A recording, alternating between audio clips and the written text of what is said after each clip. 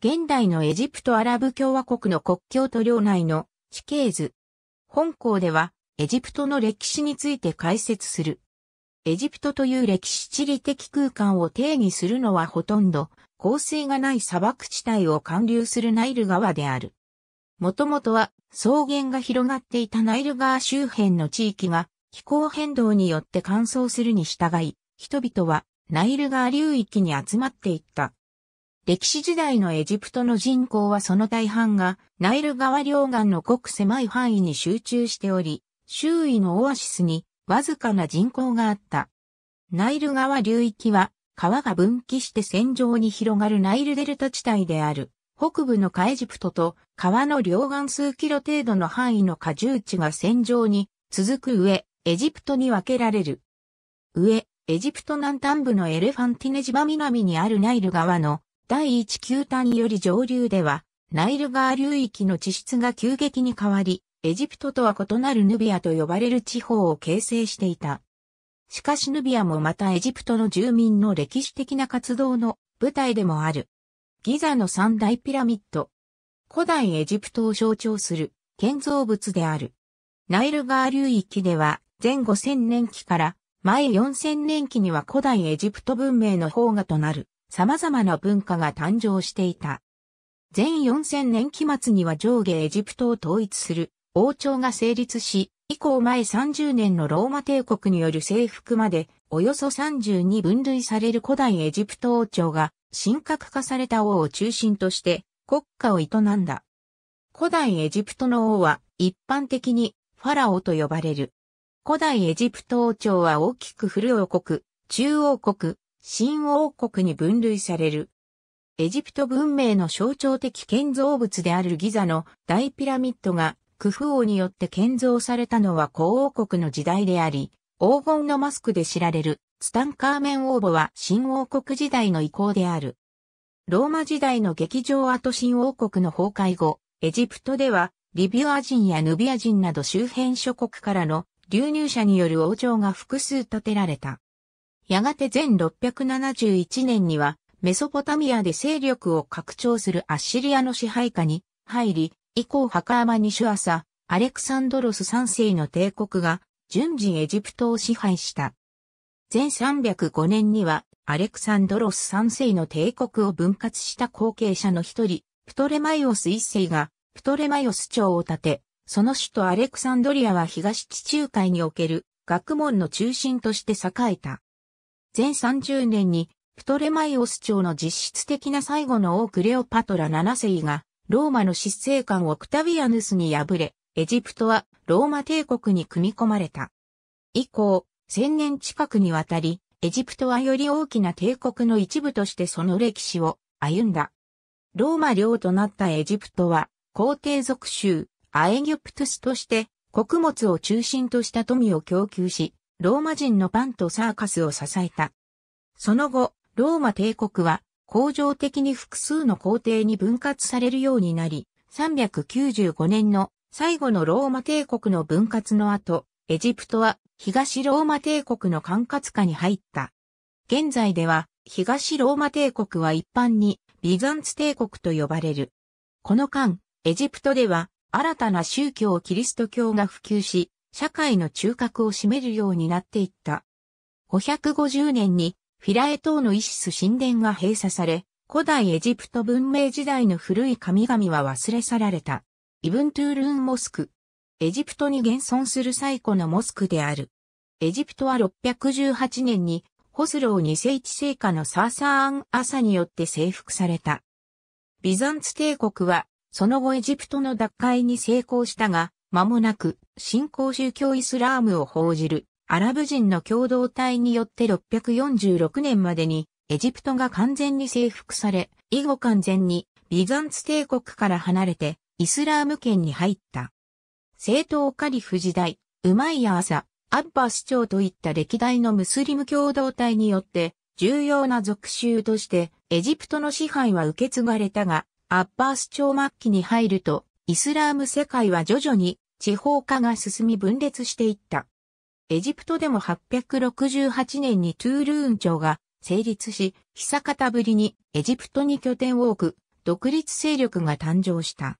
その後エジプトの支配権はチュニジアで起こったファーティマ朝の手に渡ったが、ファーティマ朝は現在のカイロに拠点を移し事実上エジプトの王朝としての歴史を歩んだ。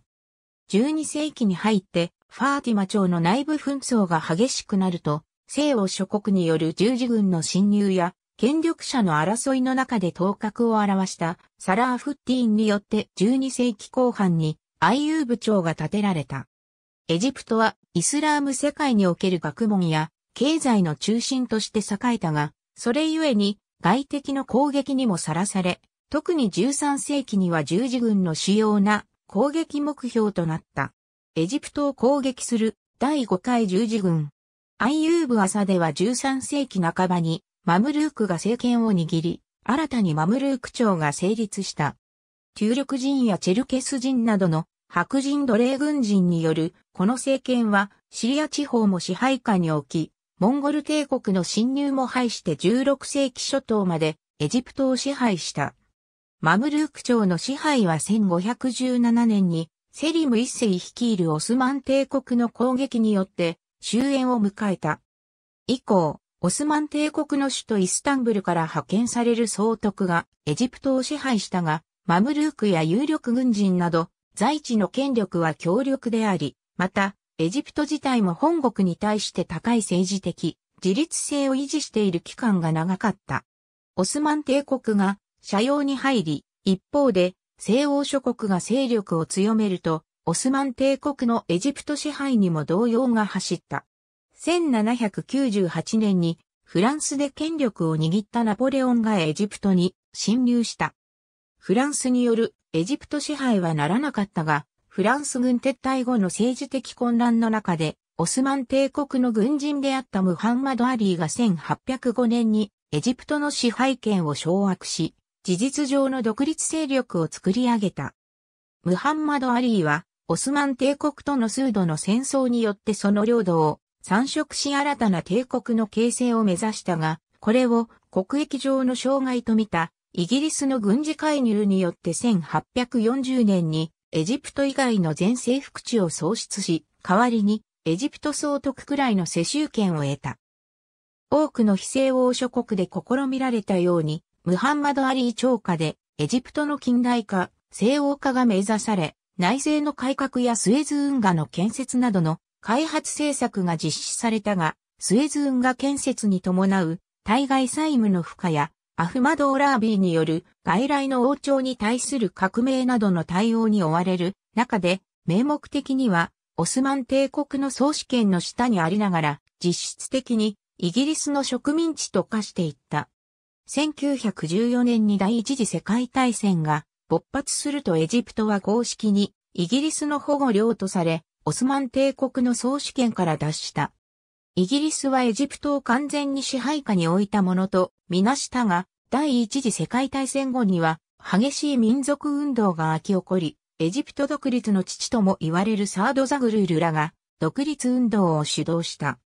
結局イギリスはムハンマド・アリー朝の継続のもと、1922年にエジプト王国の独立を承認したが、エジプトへの駐兵を継続し、政治上の様々な留保をつけるなど、エジプトの独立は制限付きのものとなった。エジプトは辛抱強く主権の回復に向けて努力を続け、1936年にはスエズ運河地帯以外からのイギリス軍の撤兵にこぎつけ、1937年に国際連盟に加盟した。また、同年には猶予期間を置いての違い法権の撤廃も勝ち取った。現代のエジプト、カイロ市街、第二次世界大戦を契機に、パレスチナにユダヤ人国家イスラエルが成立すると、エジプトはこれを認めず周辺のアラブ諸国と共に第一次中東戦争でパレスチナに侵攻したが敗れた。敗戦によってムハンマド・アリー朝は権威を失い、1952年には軍のクーデターによって王が追放され、翌年に公式に王政の終了が宣言された。共和制への移行後、ナーセルが大統領として主導権を握り、1956年には武力危機の末にスエズ運河の国有化を実現した。アラブ民族主義の台頭のもと、ナーセルが中核となって1958年にシリア、イエメンと合併してアラブ連合共和国が成立した。しかしこの連合はうまくいかず、3年で解体した。1967年には第三次中東戦争でのイスラエルに対する敗北によってナーセルの権威は失墜し、1970年にはナーセルが死去した。ナーセルの後を継いだサーダートは1979年にイスラエルとの和平を実現したが、アラブ諸国との関係悪化を招き、さらに対イスラエル強硬派によって暗殺された。ついで成立したムバーラク政権はエジプトの国際関係を再編し、アラブ諸国における主導権の回復を目指した。特に1990年のイラクによるクウェート侵攻を契機に始まった湾岸戦争では、アメリカ側に立って多国籍軍に参加し、国際的地位を大きく上昇させた。また、アメリカや湾岸諸国から莫大な経済援助を引き出し、これをてこに経済開発に力を入れ、大きな成果を上げた。しかし、2010年にチュニジアで始まった民主運動は、ソーシャルメディアなどを通じて柴叩く間に、アラブ諸国に波及し、エジプトでも大規模な反政府の抗議運動が発生した。ムバーラク大統領は地位を追われ、その後、ソーシャルメディアなどを駆使して結成された複数の青年勢力、そしてムスリム同胞団やイスラーム集団、ジハード団などのイスラーム勢力が政治アクターとして存在感を増し、伝統的に大きな権力を持つ軍部なども交えて、新たな体制が模索されている。お、オナイルよ。この地よりで、エジプトを生かさんがために来れるもの。その権限の姿、隠されてあり、日中は暗黒、詩人そのために歌う。すべての小ヤギを育てんがために、ラーの作りたまいし牧場に水注ぐ彼。砂漠や陶器場所に飲むを与える彼。そうは、天空より降りし、彼の炉なり。ナイル山下一エジプトはアフリカ大陸の北東端にある。土地のほとんどは広大なサハラ砂漠の一部をなす砂漠地帯であり、その中をナイル川が南から北へ向かって流れている。ナイル川は赤道に近いビクトリア湖の周辺から生じる白ナイル川とエチオピア高原に水源を持つ青ナイル川がスーダンのハルトゥームで合流することによって形成され、世界最長の川として知られる。ハルトゥームからエレファンティネ島に至る地域で岩盤層の変化によって谷幅の狭い6つの急湍が形成されており、エレファンティネ以北では谷幅が平均 20km まで広がり、砂漠地帯と崖で区切られるようになる。このような地勢はエレファンティネからカイロ周辺まで続き、カイロより北ではナイル川が分流して線状に広がるデルタ地帯が広がっている。古来より急流によって水運が妨げられるエレファンティネ、島南の第一球端の存在によって、ここがエジプトの南の境とされており、ここより南はヌビアと呼ばれていた。さらに、カイロ以南の過酷地帯が上エジプト、カイロ以北のナイルデルタ地帯がゲエジプトと呼ばれ、その自然環境の相違によって異なる生活文化が育まれた。かつてのナイル川は夏に雨季を迎えるエチオピア高原の雨水で増水した青ナイル川や、支流のアトパラ川の影響を受けて、毎年6月の夏至の頃から緩やかに増水し、9月から10月にかけて最高水位を迎えた。渇水時と氾濫時の水位差は7メートルを超え、氾濫の後には上流から運ばれてくる養分に富んだ土が地表を覆った。このナイル川の運ぶ黒い土の土地と砂漠地帯の赤い土の土地の対比は極めて明快であり、古代エジプト時代にはエジプト人たちは自らの国をケメトと呼び、周辺の砂漠地帯をデシレトと呼んだ。このナイル川の特性は冬作物である麦類の生態に非常によく適合しており、毎年の洪水の後に箸を行い、収穫が終わった後に畑を放置しておけば再びナイル川の氾濫によって自力が回復した。このことはエジプトの農業の基本的な姿を規定した。ナイル川の氾濫は非常に規則的ではあったが、毎年の水位は異なっていた。水に覆われる面積の大小がそのまま農地面積の大小につながり、またナイル川の増水サイクルが生活のサイクルを決定していたため、ナイル川の水位の管理や増水時期の把握は古代、エジプト時代から20世紀に至るまで、政府機構の最も重要な関心事であった。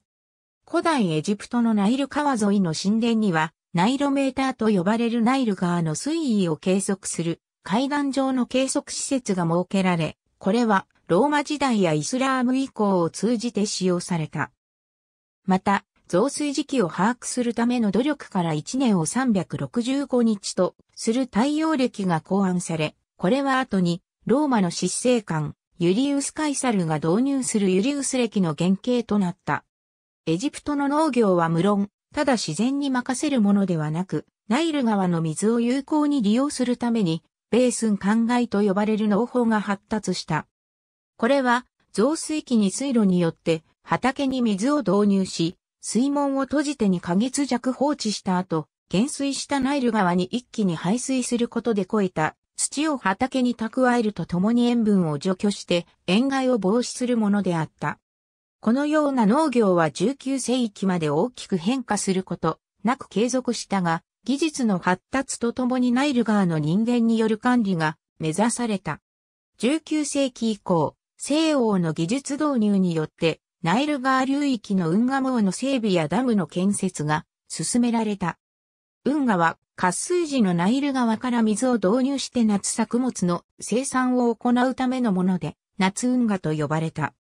また、ダムとそれに付随する水門の建設によってナイル川の水位を人工的に制御することが目指され、19世紀半ばにはデルタ・バラージュが、1902年にはアスワーンダムが建設された。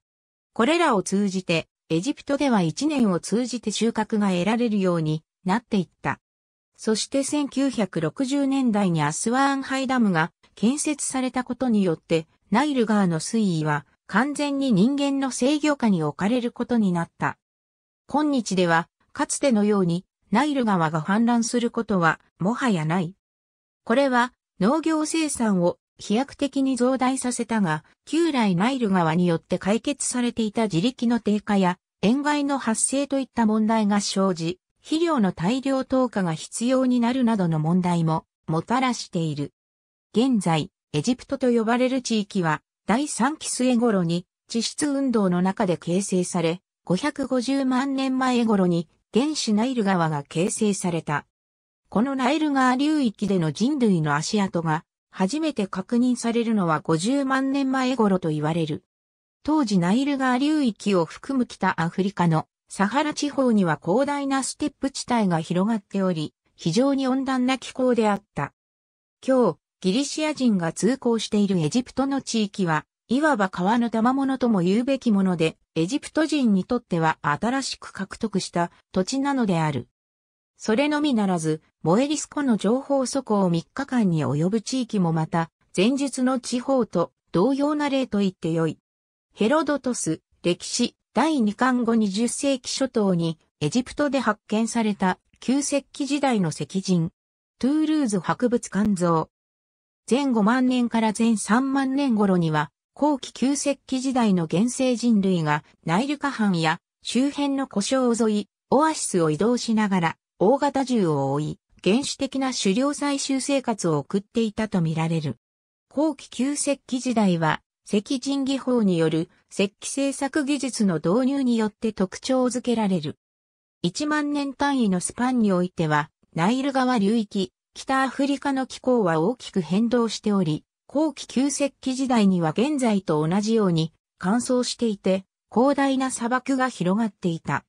このため、後期旧石器時代の遺跡は、ナイル川沿いの土地に集中している。2003年現在、最も古い後期旧石器時代の遺跡は、紀元前3万1000年頃のものとみられる、エジプト中部のナイル川西岸のナズレット、カタル遺跡である。前1万9000年頃に入ると、上、エジプト南部からスーダン北部にかけての地域に様々な石器文化が集中的に出現した。これらの文化には、クッパニーヤ文化、セビル文化、花壇文化などと呼ばれるものがある。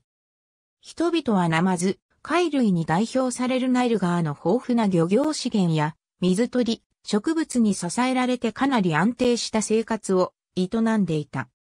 この後期旧石器時代のエジプトでは、アフリカ独自の穀物栽培が行われていたという説もあったが、研究の結果現在ではこれは否定されている。前1万2000年頃、アフリカ北東部は第四出巡期と呼ばれる時期に入った。これは赤道アフリカのモンスーンを伴う降雨帯が南下し、スーダン北部からエジプト南部に至る地域に年間 200mm 程度の降雨がもたらされるようになった時期である。第四出巡期のエジプトも決して雨量豊富というわけではなかったが、砂漠地帯の景観は一変し、タマリスクやアカシア、ナツメヤシが繁茂し、ウサギ、ガゼル、オリックスなどが生息するようになった。この時代は、考古学的には、終末期旧石器時代、または俗旧石器時代に分類される時代にあたる。緑化が進んだことで、人々の生活圏は、ナイル川の両岸地帯から離れた地域にまで広がり、西方の元砂漠地帯に居住の痕跡が残されるようになった。こうした居住の痕跡は、エジプト南部のナブタプラヤ遺跡やエジプト北部のシワオアシス、ファイユームなどに代表される。人々の居住はとりわけ、下記の香水が水たまりを作る低地や湧き水のあるオアシス近辺に集中していた。ナブタプラヤ遺跡とその周辺からは、小型の石人、トガリ角器を含む石器や骨格器、ダチョウの卵で作られたビーズなどが見つかっている。ナイル川流域においては、ナイル川中流域に特に多数の居住痕跡が確認されており、カルトゥーム中石器と呼ばれる文化が広がっていた。現、エジプト地域では、南部のナイル川第二級端付近に、アルキン文化とシャマルク文化が広がっていた。これらナイル川沿いの遺跡では、魚類や貝類など、ナイル川の水産資源に著しく依存した生活が営まれていたことが発見された遺物からわかっている。水量の増したナイル川の水産資源は、未だ濃厚を知らない、終末期旧石器時代の生活文化においてもある。程度の定住的生活を可能とした。この頃にエジプトでは魔性石器や土器の使用が開始されたとみられる。2003年時点において確認されている世界最古の土器は日本の縄文土器などを含む東アジアのそれであるが、エジプトにおける土器の使用はそれに次ぐ世界で最も早期のものであり、終末期旧石器時代の早い段階から確認されている。ただし、土器の使用は局地的であり、また、発見例は断片ばかりで、用途ははっきりしない。終末期旧石器時代の後半には、アフリカ北東部全域に土器の使用が広まったが、それでも、なお瓦系が全く出土しないこの時期の遺跡が多数ある。また、全8000年期には、西アジアで麦類の栽培が、さらに前7000年期には、ヤギの家畜化が始まったと見られているが、エジプトでもこれと同時期かやや遅れて、農耕と牧畜が始まった可能性がある。エジプトの農耕と牧畜が西アジアから導入されたのか、独自に開始されたものなのかは多くの学者たちの関心の的であるが、はっきりとはしていない。ただし、特に牛の家畜化については、エジプト地域で始まった可能性が高いと見られている。確認可能なエジプト最古の穀物栽培の痕跡は、前5000年頃に年代付けられるファイユー無湿度のエンマー小麦である。これは、すでに新石器時代の遺跡であるが、より古い時代にナブタプラヤ遺跡で栽培が行われた可能性も議論されている。また、アフリカ原生の穀物であるソルガムやミレットが栽培されていた可能性もある。こうした魔性石器の使用、土器の導入、農耕、牧畜の開始は新石器時代を定義づける要素とされており、それらの導入が新石器時代の開始とみなされているが、すべてが同時に同じ場所で導入されていたわけではなく、新石器時代と旧石器時代の境界は明確ではない。考古学者、高宮泉は外説書において、説明上前6000年期以降を新石器時代と位置づけている。古代エジプト時代の都市と過重地の地図。アフリカ大陸北東部の出巡期は終了へと向かい、前6000年前5000年頃から次第に乾燥化が進んだ。次第に進む砂漠化によって人々はナイル川流域へと集まっていった。古代エジプト文明につながってゆく様々な文化がこの人口が集中したナイル川流域において育まれた。すでに述べたファイユーム地方におけるエンマー小麦の栽培痕跡の登場をはじめ、この頃にナイル川流域における初の農耕、牧畜文化が登場する。旧石器時代から新石器時代への文化の変遷を連続的に確認することができるのは、ナブタプラヤ遺跡のみであり、ナイル川に登場した農耕、牧畜文化とそれ以前のエジプトの文化の関係性については確実なことはわからない。前5000年期に入ると、上下、エジプト、さらに、スーダンで土器の使用や農耕、牧畜の確実な証拠を伴った文化が続々と登場する。最も早期と見られるのは上下エジプト結接点そばのファイユーム地方に登場したファイユーム文化であり、前5230年前4230年頃にかけて存続した。この文化はナイル川流域における農耕、牧畜の導入の確実な痕跡を残す最古の文化である。ゲエジプトにおいては、前5000年頃、または前4750年頃にメリムデ文化が登場した。この地域では、ナイル川流域最古の定住農耕村落遺跡が発見されている。ファイユーム文化とメリムデ文化の終末期に並行する前5000年期末には、オマリ文化が登場している。上、エジプトでは、終末期旧石器時代に上、エジプトで初の土器を伴う文化であるターリーフ文化が登場しており、新石器時代に入り前後千年期終わり頃には、バダリ文化で最古の農耕、牧畜の痕跡が確認される。この文化の移行では、多数の副葬品を伴う集団墓地が営まれた。これはエジプトにおける副葬品を伴う墓地の最古の例であり、後の王朝時代の創造習慣との関係においても重要である。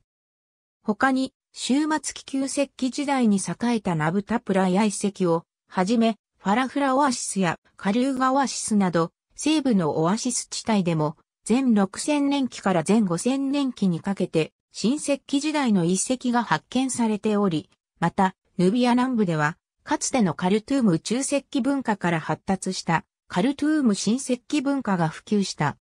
ヌビア北部では、前6000年期にカルトゥームバリアント文化、前5000年期にポストシャマルク文化、前5000年期から前4000年期にかけて、アブカン文化が登場する。これらの文化においては、河原家の使用と牛を中心とした牧畜が生活の中枢となっていたことが確認されているが、麦類の栽培は確認されておらず、その他の農耕の痕跡もはっきりしたものは見つかっていない。総じて、ナイル川上流域では牧畜に比べて農耕の導入は遅かったことが知られ、生活様式が異なっていたと考えられる。前4000年期に入ると、ゲエジプトでは、マーディブト文化、上、エジプトでは、中田文化、そしてヌビアでは、ヌビア A グループ文化が発達した。これらの文化はメソポタミアなど周辺地域との密接な関係の中で発達し、またこの頃から同製品が登場することから、初期青銅器時代に分類される。前4000年期末からローマによる征服まで続いたエジプトの独立王朝、あるいはキリスト教の浸透まで続いた古代エジプト人の宗教体系、そして言語などを含む生活文化などは古代エジプト文明と呼ばれている。古代エジプト史は、おおむね、第一王朝から第31王朝、または、プトレマイオス朝まで至る30余りの王朝に分類されており、これらの王朝は大きく、初期王朝時代、古王国、第一中間期、中王国、第二中間期、新王国、第三中間期及び末期王朝時代という時代に区分されている。これらの区分のそれぞれに属する王朝、その期間などについては、学者間の見解相違が大きいものの、枠組みとしては通常は、上記の分類に沿った説明が行われる。ただし、これはあくまで現代のエジプト学における区分であり、古代エジプトの人々自身が、このような時代区分法を用いていたわけではない。中田一期から第一王朝時代までの遺物。ボローニャ考古学市民博物館収蔵。全4000年期において、最も重要な文化は上、エジプトで登場した中田文化である。中田文化は、北はアビュドス、南はヒエラコンポリスまでの地域から登場し、その後エジプト全域に普及していく。中田文化期には、農耕、牧畜の重要性が増し、それを中心にした社会が形成され、多種多様な奇形の土器が生産されていた。特に現在発見されている中田文化の土器は上流階級の墓地に収める副葬品として生産されたものが中心であるためか、単なる日用品であった古代の王朝時代の土器類よりも品質が良いことを特徴とする。パレットと呼ばれるアイシャドウをすりつぶすための石製品もこの時代に登場している。ゲエジプトではおそらくファイユーム文化やメリムデ文化など、より古い時代の文化から発展したマーディブト文化と呼ばれる文化が成長していた。この文化の痕跡は、ナイル川流域を離れたシナイ半島からも発見されている。エジプトから銅製品が発見されるようになることから、この頃からシナイ半島や東方砂漠地帯からの銅の採集が行われていたと見られている。シナイ半島からの銅の調達は、後の王朝時代において、王家主導で行われる大規模事業へと発達する。相互に関係を持ちつつも、それぞれ独自の発達を続けていた上、エジプトとゲエジプトの文化であったが、中田2期の間までにゲエジプトのマーディブト文化は急速に独自性を失い、エジプト全域に中田文化の系譜を引く共通の文化が分布するようになっていった。このために中田2期の終わりにはエジプトが文化的に統一されたと言われるような状況が生じた。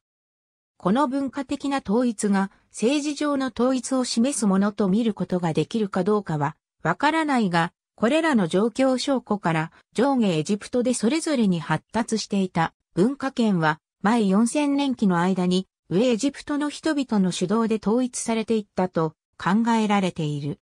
中田3期に入ると上エジプトの墓地でははっきりと階層文化の傾向が見られるようになり、西アジアとの接触や交易路の確立、さらに文字の使用の開始が開始されるなど、短期間のうちにエジプトの社会、政治、文化に大きな変化があった。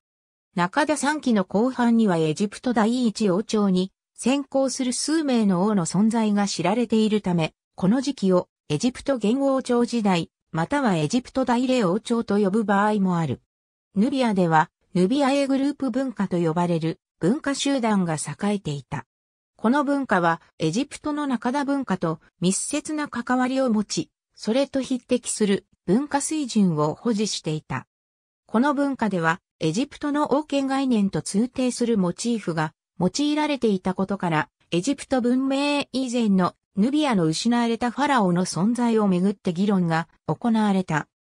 これは現在では学術的には否定的見解が強いが、人種問題やヨーロッパ文明のアイデンティティをめぐる議論に影響を与えている。ナルメルオのパレット。前4000年期末前4000年期末頃からエジプトではおぼろげながら文字資料によって歴史を復元できるようになる。後世のエジプトの伝説では初めて上下エジプトを統合し、エジプトに統一王朝を築いた王はメネスである。一方で、考古学的見地から統一王朝の最古の王である可能性が高いと見られるのはナルメル王である。ナルメルが起こしたとされる王朝をエジプト第一王朝とし、以降の時代は第31までの番号で分類される歴代の王朝の歴史として整理されている。ただし、実際にエジプトの最初の王が誰であったのかについては今なお定説があるわけではない。伝説のメネス王第一王朝の王のいずれかの王と同定しようとする試みが続けられており、あるいはメネスは初期王朝時代の複数の王の記憶の集合によって誕生したものであるかもしれない。初期王朝時代の間にの時代に、上、エジプトと下エジプトの結節点にあたる土地に、イネブヘジと呼ばれる都市が建設された。この都市は後にメンフィスと呼ばれるようになり、古代エジプト時代を通じて、エジプトの中心的都市の一つとなった。この都市に建設されたプタハ大神殿の名称、フートカプタハは、後にギリシア語でアイギュプトスと名まり、今日のエジプトの語源となったとする説もある。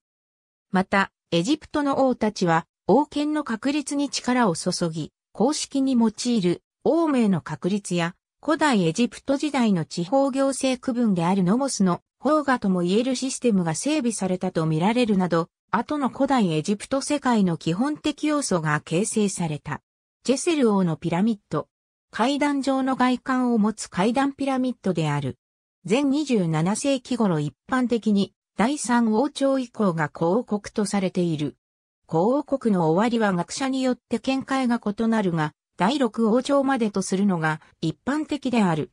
ただし、王朝組織の連続性を考慮して、第八王朝までを皇王国とする分類を用いる学者もいる。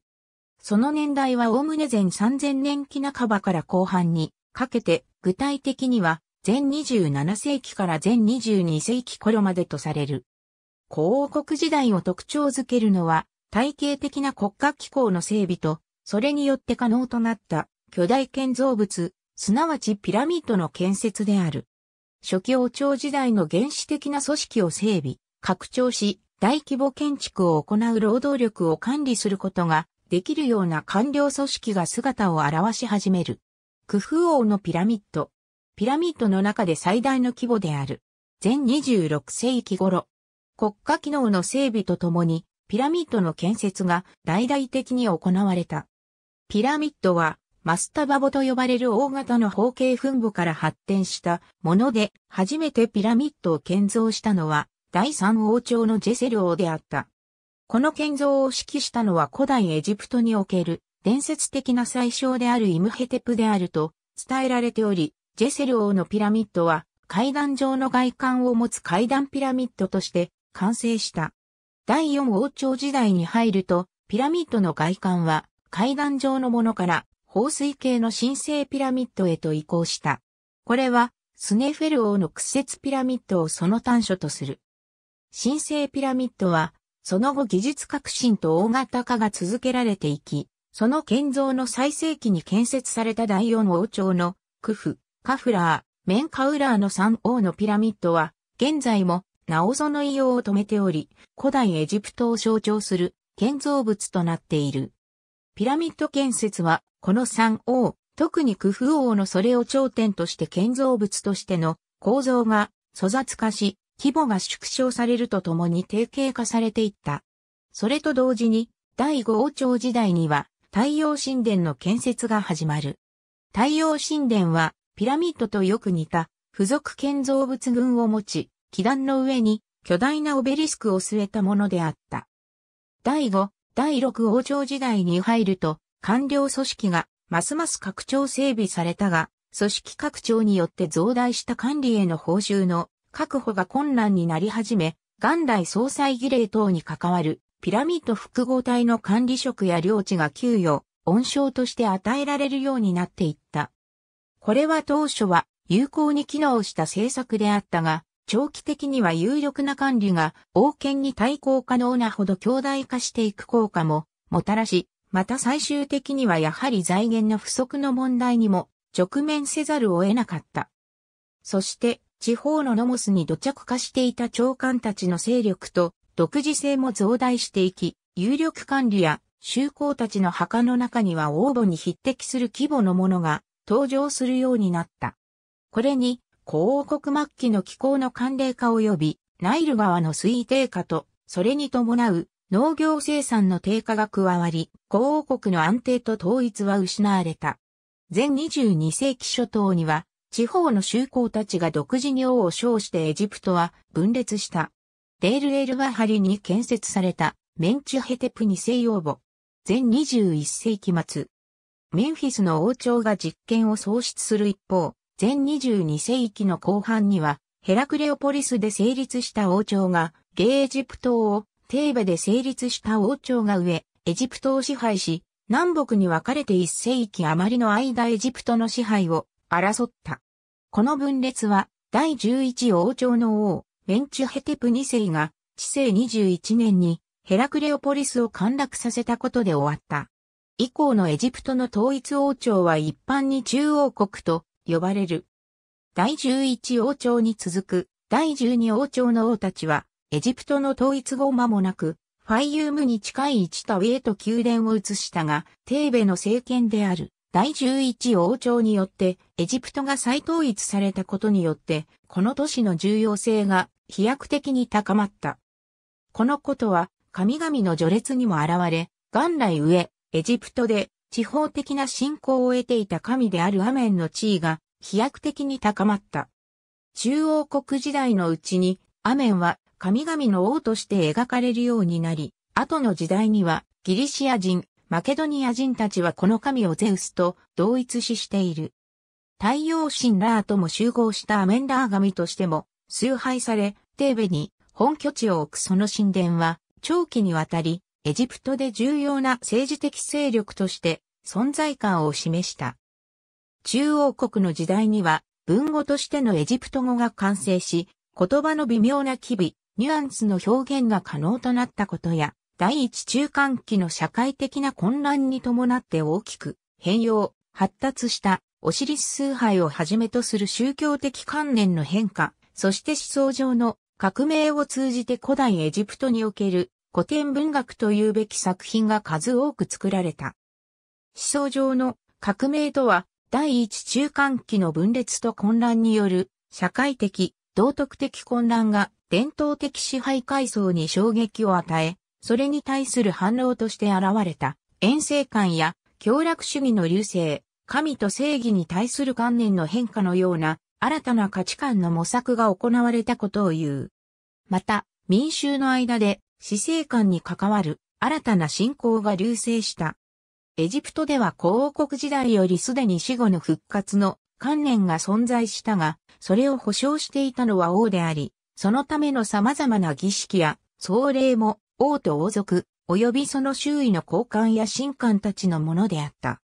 しかし、統一的な王権の消失とともに、民衆の間にも、人は誰でも死んでオシリス神となり、来世で再生、復活することができるとする冥界の神オシリス神への信仰が急速に普及した。この過程は、総裁の民主化とも呼ばれ、中央国時代以降には、オシリス神への信仰は、エジプトの宗教において最も重要な部分の一つを構成していく。ベニハサンの壁画に描かれたアジア人とエジプト人。アジア人が薄い肌色、エジプト人が褐色の肌色で描き分けられている。中央国ではまた行政組織、官僚機構が整備されて中央集権的体制を構築し、ファイユームでの干拓事業や活発な軍事遠征が行われた。この中央国の官僚制は強力であり、第13王朝時代に入り在位期間の短い王が続くようになっても、実質的な統括者である最小の下で安定した政治が行われた。エジプト中央国の勢力は、南パレスチナやレバント地方にまで及び、交易活動や人的交流も活発化した。このため、エジプトにも外部の人々、特にアジア人が流入し、定着した。エジプトに移住したアジア人たちは自分たちの風習や宗教的習慣をエジプトに持ち込む一方で地方を築き、やがて中央国の衰退に伴って、現エジプトで彼らによる王朝が樹立されるに至る。この下エジプトに勢力を持ったアジア系の政権はヒクソスと呼ばれている。ヒクソスが現エジプトで権力を確立したことで再びエジプトは南北に分裂し、エジプト第二中間期と呼ばれる時代に入る。エジプト中央国の衰退とヒクソスの王朝の成立の具体的な経過はつまびらかでない。イアフメス一世のミイラ、大英博物館像、全16世紀初頭、エジプトを再統一した。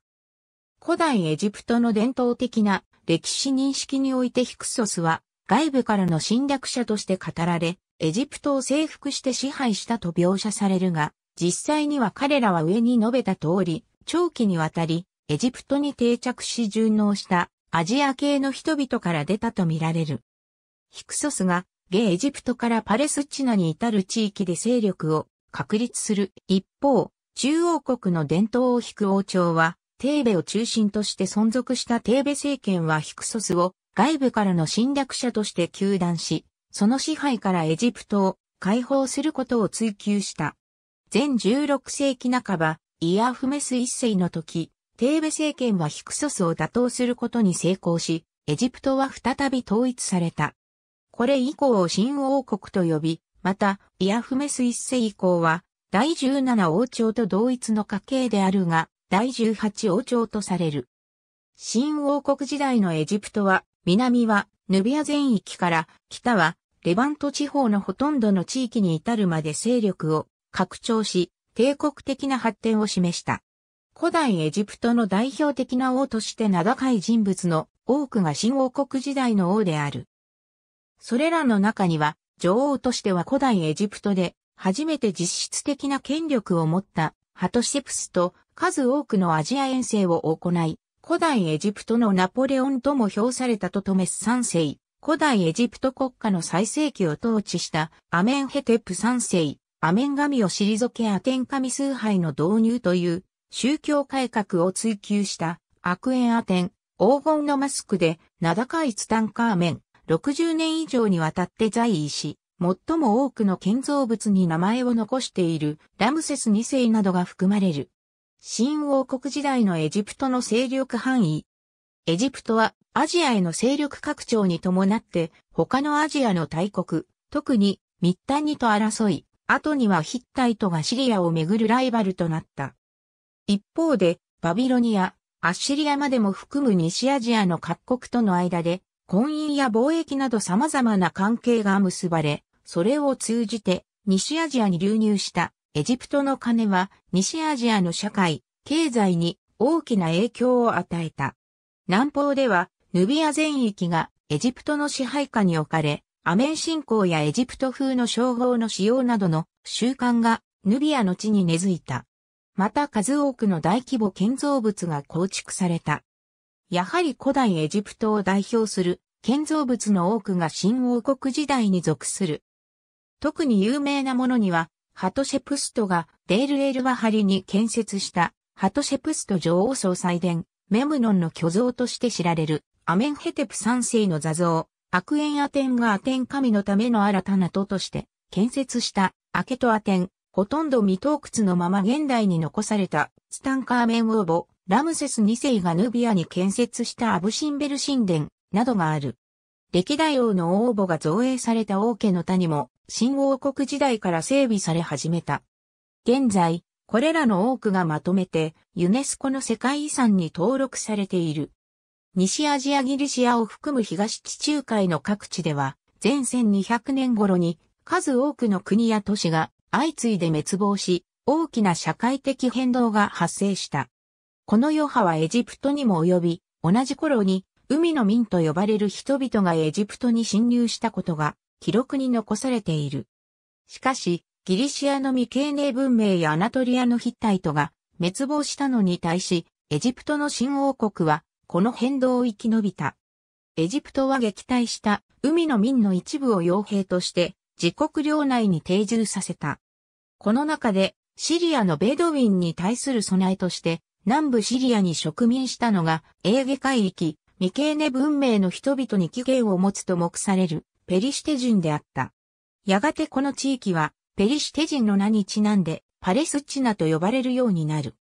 このペリシテ人は旧約聖書で古代イスラエル人とパレスチナの支配をめぐって争った人々として言及されていることで著名である。しかし、第20王朝の王ラムセス3世の時代を最後に、エジプトの王権は急速に衰え、新王国の統一権力は弱体化していった。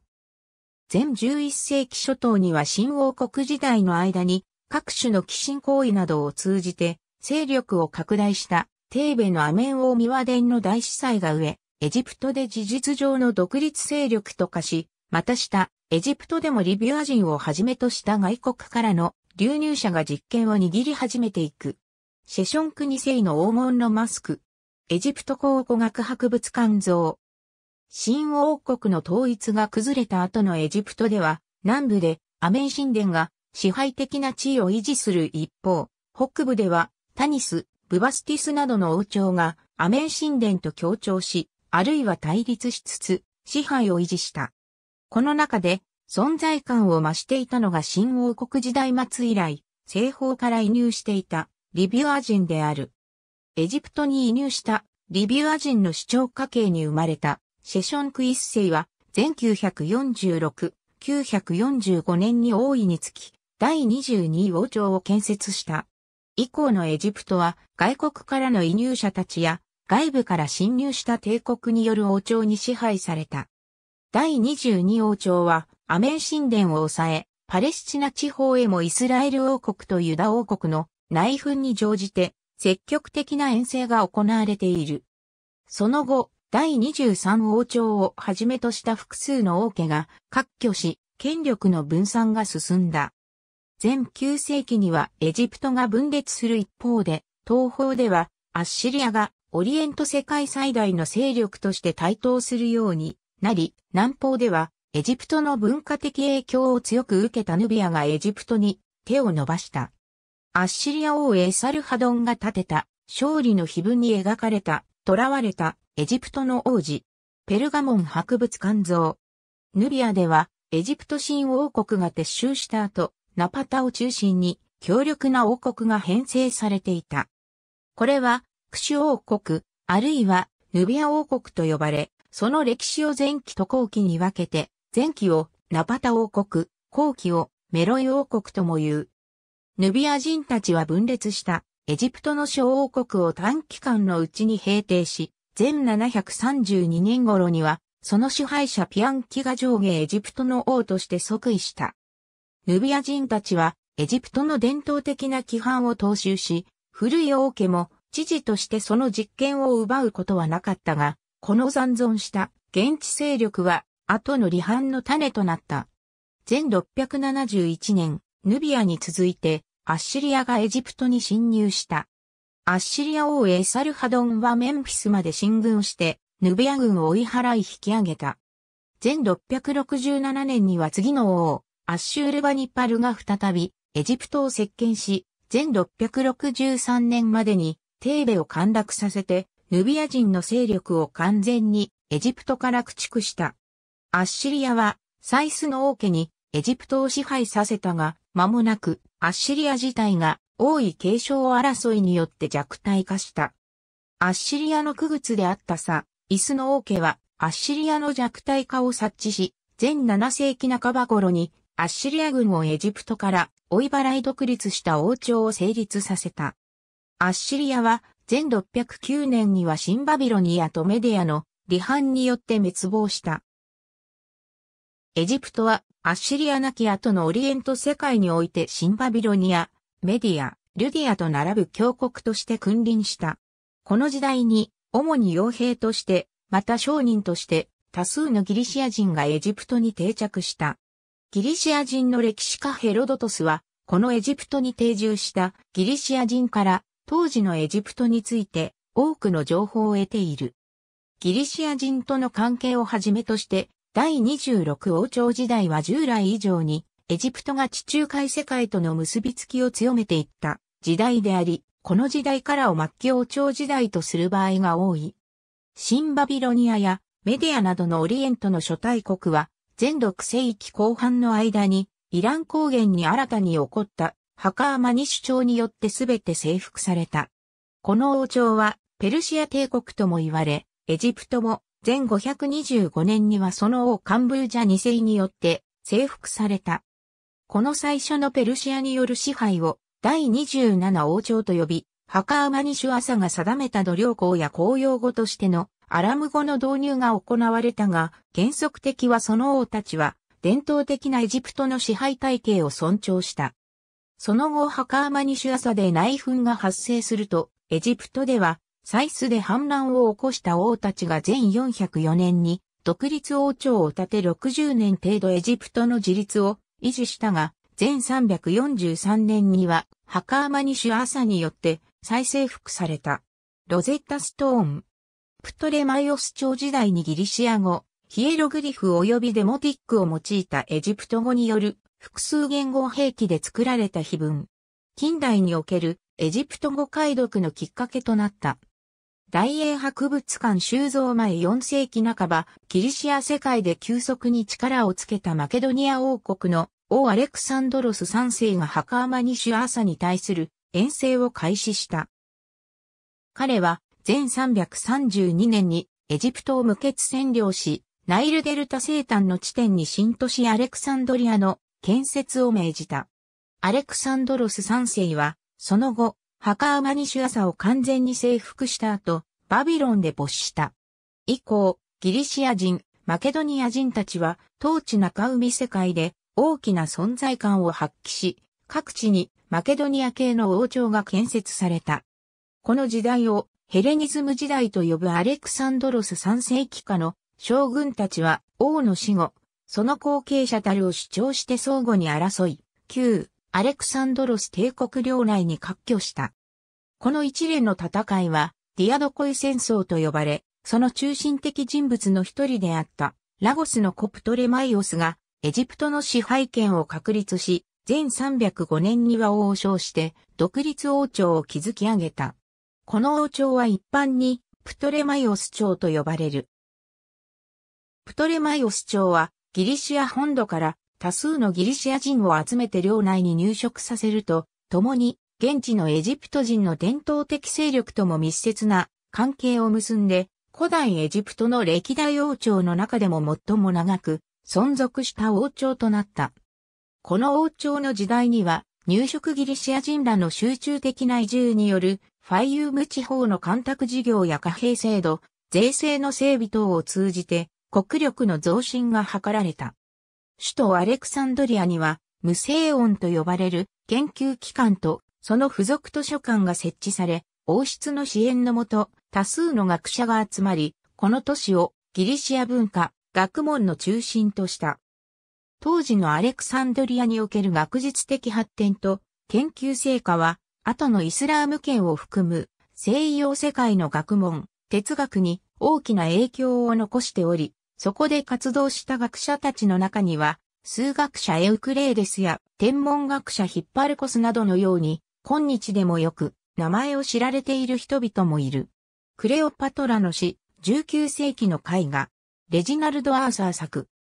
プトレマイオス朝は、シリア、メソポタミア、イラン高原を支配するセレウコス朝や、ギリシア・マケドニアを支配するアンティゴノス朝と、当地中海地域や南部シリアの支配権をめぐって戦いを繰り返し、一進一退を続けたが、最終的にはエジプトの王朝という大枠に変化はなかった。セレウコス朝との戦いは6時にわたり、シリア戦争の名で知られている。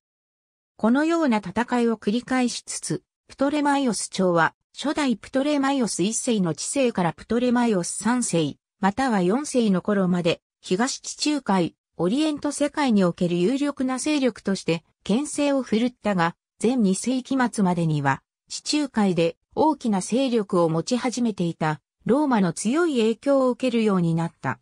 プトレマイオス朝の王たちはローマの清掃に関与するとともに、その地位をローマからの指示に依存するようになり、実質的にその従属国となっていった。プトレマイオス朝の実質的な最後の王となったクレオパトラ7世は、ローマの有力者、ユリウス・カイサルに接近し、彼との間に息子を設けるなど密接な関係を築いたが、カイサルは全44年にマルクス・ユニウス・ブルトゥスラによって暗殺された。その後のローマの内戦ではクレオパトラ7世はマルクス・アントニウスと結びオクタビアヌスと戦ったものの、全31年のアクティウムの海戦で敗れ、翌前30年には自殺に追い込まれた。これによってプトレマイオス朝は滅亡し、その後初代ローマ皇帝となったオクタビアヌスはエジプトを皇帝属州、アエギュプトゥスとした。アウグストゥスは独裁制の悲運の一つとして、元老院議員や上級ローマ騎士が無許可で立ち入ることを禁止するという手段を使って事実上エジプトを自分のものにしておいた。誰にせよ、この属州を占領し、陸と海との鍵を握ってしまうと、たとえわずかな守備でも、莫大な軍勢に対抗できて、イタリアを上で脅かすことができようと心配したからである。コルネリウス・タキトゥス、年代記、第2巻59ローマ帝国の東方所属州は、ヘレニズム時代を通じてギリシア語による要請や知識活動が活発に行われていた地域であり、ローマ領に組み込まれてもギリシア文化がその基調となっていた。この状況はアイギュプトゥスでも同様であり、ローマは先行するプトレマイオス朝の行政的伝統を踏襲した。無論何の変化もなかったわけではなく、ローマ人たちは現地の富裕層を育成して、徴税や治安維持を担わせ、財政的負担を軽減するために、社会的なコミュニティの再編などを行ったとみられる。アウグストゥスは、エジプト征服直後、初代エジプト総督を元老院議員ではなく、遠征軍に同行していた、騎士身分であったガイウス・コルネリウス・ガールスとした。以降、エジプト総督位は、属州総督の中でも特殊な位置を占めた。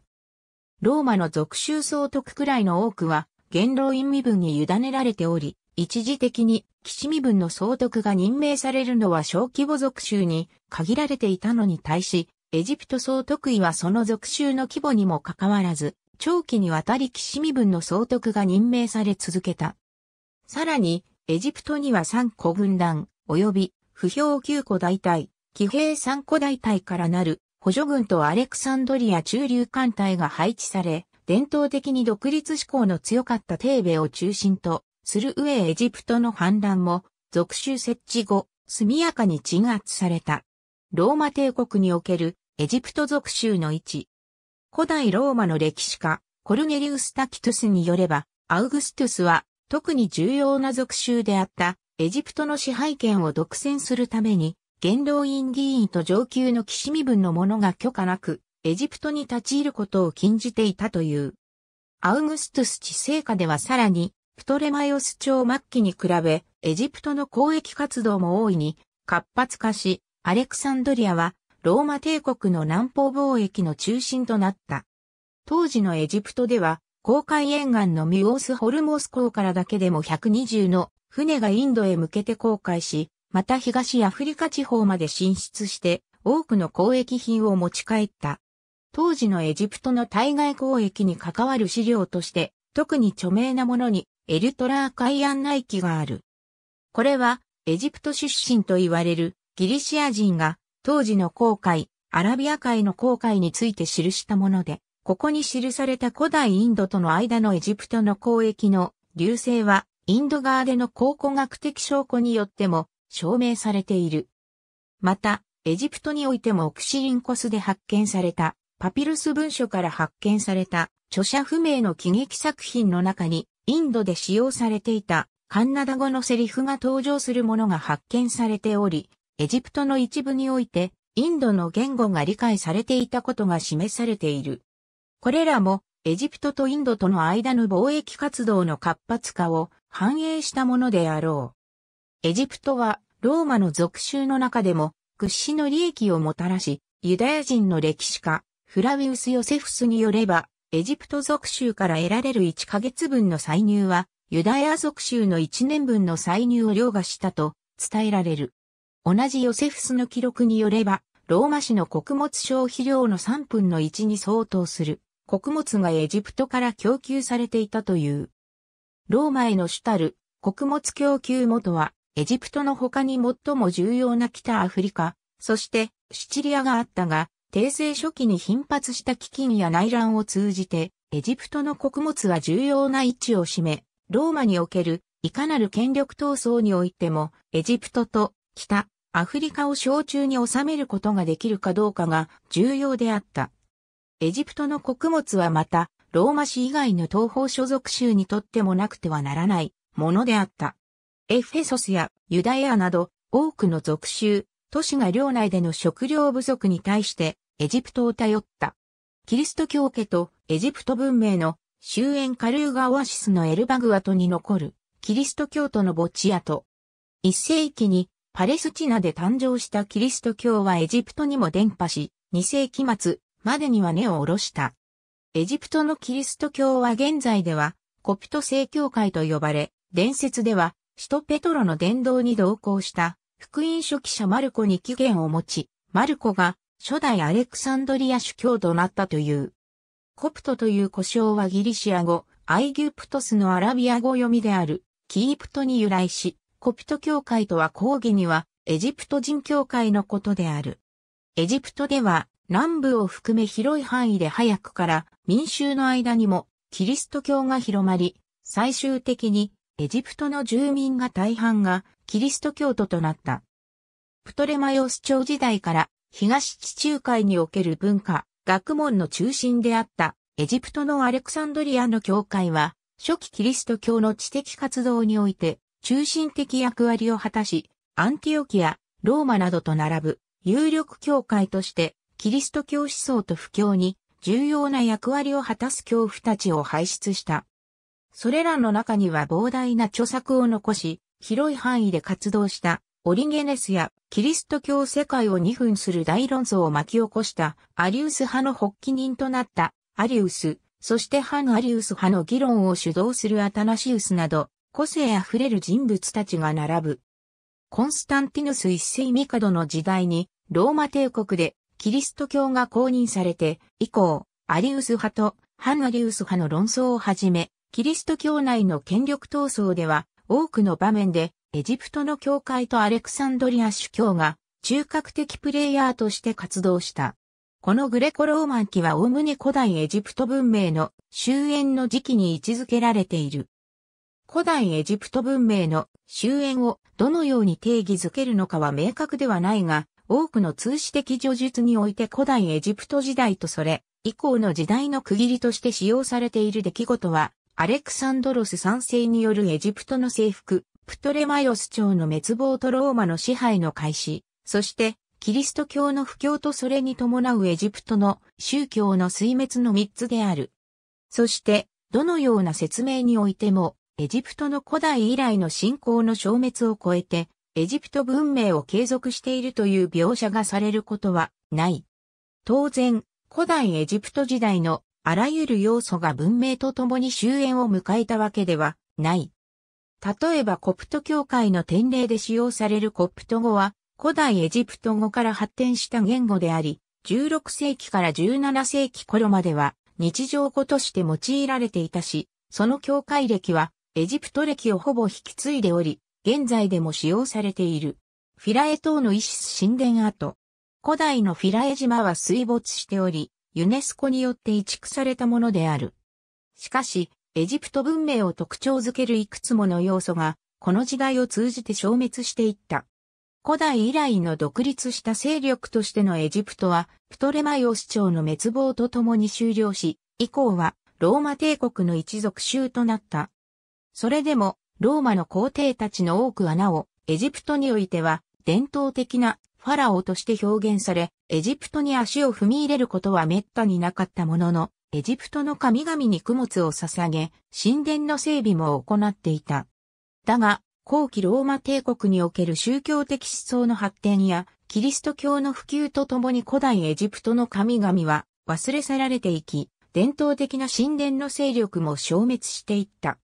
史上最後となるキリスト教徒迫害を行ったディオクレティアヌス帝は303年に対し、313年にはキリスト教がローマ帝国で公認され、コンスタンティノス一世がローマ帝国の唯一の支配者となって、以降はただ一人の例外を除きすべてのローマ皇帝がキリスト教徒であった。彼らは異教の神殿を封鎖し、その神々への儀式を禁じていった。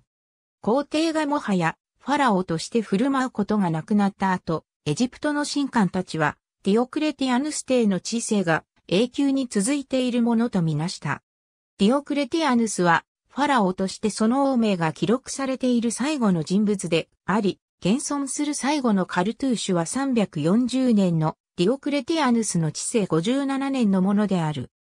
そして、フィラエ島で発見された2014年現在、知られている限り最後のヒエログリフの碑文には、ディオクレティアヌスの治世110年のオシリス人、誕生祭が記録されており、同じく最後のデモティックの碑文は、ディオクレティアヌスの治世169年に作成されたものである。これらが作成されたフィラエ島のイシス神殿は、エジプト最後の多神教の拠点であったが、これもついにユスティニアヌス一世一世下の西暦550年に公式に閉鎖された。ローマ帝国は3世紀には政治的、軍事的混乱と内乱の時代を経験し、軍人皇帝と呼ばれる皇帝たちの時代を経て、4世紀には複数の皇帝によって分割統治される体制が常態化した。幾度かの分割の後、395年に史上最後となる帝国の分割が行われた。エジプトは東帝国の管轄となり、東帝国の中枢はボスポラス海峡沿岸のコンスタンティノープル市に置かれた。この東帝国は一般にビザンツ帝国と呼ばれる。ローマ帝国とビザンツ帝国の境界は明確ではないが、本記事では以降、ビザンツ帝国と呼称する。西帝国が紛族やゲルマン人諸部族の侵入と戦乱で実態を喪失していく中、ビザンツ帝国は強大な政治勢力として存続した。しかし、首都の境界であるコンスタンティノープル総主教庁の権威が増大する。一方で、エジプト教会とコンスタンティノープル教会の対立は深刻化した。アレクサンドリア主教テオフィロスによって異端とされたエジプト人修道士たちが自分たちの正しさをコンスタンティノープルに訴え出たのをきっかけに最初の本格的な対立が始まった。この最初の論争はアルカディウス帝と皇后アエリア・ユドクシアを巻き込み、最終的にコンスタンティノープル主教、ヨハネスの罷免と追放に至った。以降、5世紀前半には、権力闘争と一体化した競技論争が繰り広げられた。アレクサンドリア主教キュリロスの遺恨。二度目の激しい対立は428年にコンスタンティノープル主教に就任したネストリウスとアレクサンドリア主教キュリロスの間で発生し、神とキリストの神聖と人生をめぐって論争が行われた。これは単なる神学解釈の問題にとどまらず、ローマ帝国の首都の教会であるコンスタンティノープル教会と福音書記者マルコに起源を持つ伝統的教会であるアレクサンドリア教会のどちらが格上であるかという問題と結びついていた。キュリロスはローマ教皇ケレスティノス一世とも連携して、ネストリウスを罷免に追い込んだが、もう一つの有力教会である、アンティオキア教会がネストリウス派であったため、自らコンスタンティノープルに乗り込んで政治工作を続け、435年には、ネストリウスの見解を支持する人々を一旦と宣言させることに成功した。しかしこの結果として、アレクサンドリア教会とアンティオキア教会の間に大きな亀裂が残った。そして、単性説の登場によって三度目の対立が燃え上がった。これは、キュリロスの影響を強く受けた、修道院長エウテューケスが、キリストの神聖と人生は受肉によって完全に合一され、ただ一つの本性たる神聖のみになったとする教義を説いたもので、それをめぐって再び激しい議論と闘争が行われた。この争いは451年のカルケドン公会議において、協議の複雑な合成と妥協によって収められたが、一連の議論を通じて、コンスタンティノープル教会の特権が確認され、アレクサンドリア教会は、ローマコンスタンティノープルに次ぐ第三の教会に落ちる結果となったため、アレクサンドリア教会にとっては実質的な敗北となった。以降のエジプト教会は、エジプト外における影響力を大きく減じていった。しかし、エジプト内においては、アレクサンドリア主教がなお大きな力を維持しており、アレクサンドリア主教位をめぐって、親ビザンツ派と反ビザンツ派が激しい対立を続けた。結局、両派の争いは535年頃にそれぞれが別のアレクサンドリア総主教座を設置するという結末を迎え、このうち反ビザンツ派の立てた総主教座が今日も存続しているコプト正教会へとつながってゆく。ホスロー2世時代のサーサーン朝の領域。東地中海沿岸部の大半が一時的にサーサーン朝の支配下に入った。大規模な征服活動によって地中海におけるローマ帝国を復活させてみせたユスティニアヌス一世であったが、その没後には帝国政治は混乱し、またバルカン半島におけるスラブ人の侵入やイベリア半島での西ゴート王国の巻き返し、東方におけるサーサーン朝からの圧迫、イタリアへのランゴバルド人の侵入など、各方面での外敵の脅威にさらされた。エジプトにおける脅威となったのは、サーサーン朝であった。ビザンツ帝国とサーサーン朝は、恒常的に戦争を繰り返していたが、ビザンツ皇帝マウリキオスがホカスによって暗殺されると、オリエント軍司令官、ナルセスが反乱を起こしてサーサーン朝を呼び込み、サーサーン朝の王、ホスロー2世は機会を捉えて、ビザンツ帝国領に対する遠征を開始した。一連の戦いは当初サーサーン朝の圧倒的優勢のもとで進展し、こうしてバルカン半島方面に侵入したアバール人の脅威も手伝って、サーサーン朝の軍団は610年までにアナトリア、メソポタミア、コーカサスの大部分を占領した。ビサンツ帝国では一連の危機とフォーカスの失勢に対して608年にカルタゴのエクサルコスである王ヘラクレオスの息子、ヘラクレオスがいとこのニケタスと共に反乱を起こし、ニケタスが陸路エジプトへ進軍した。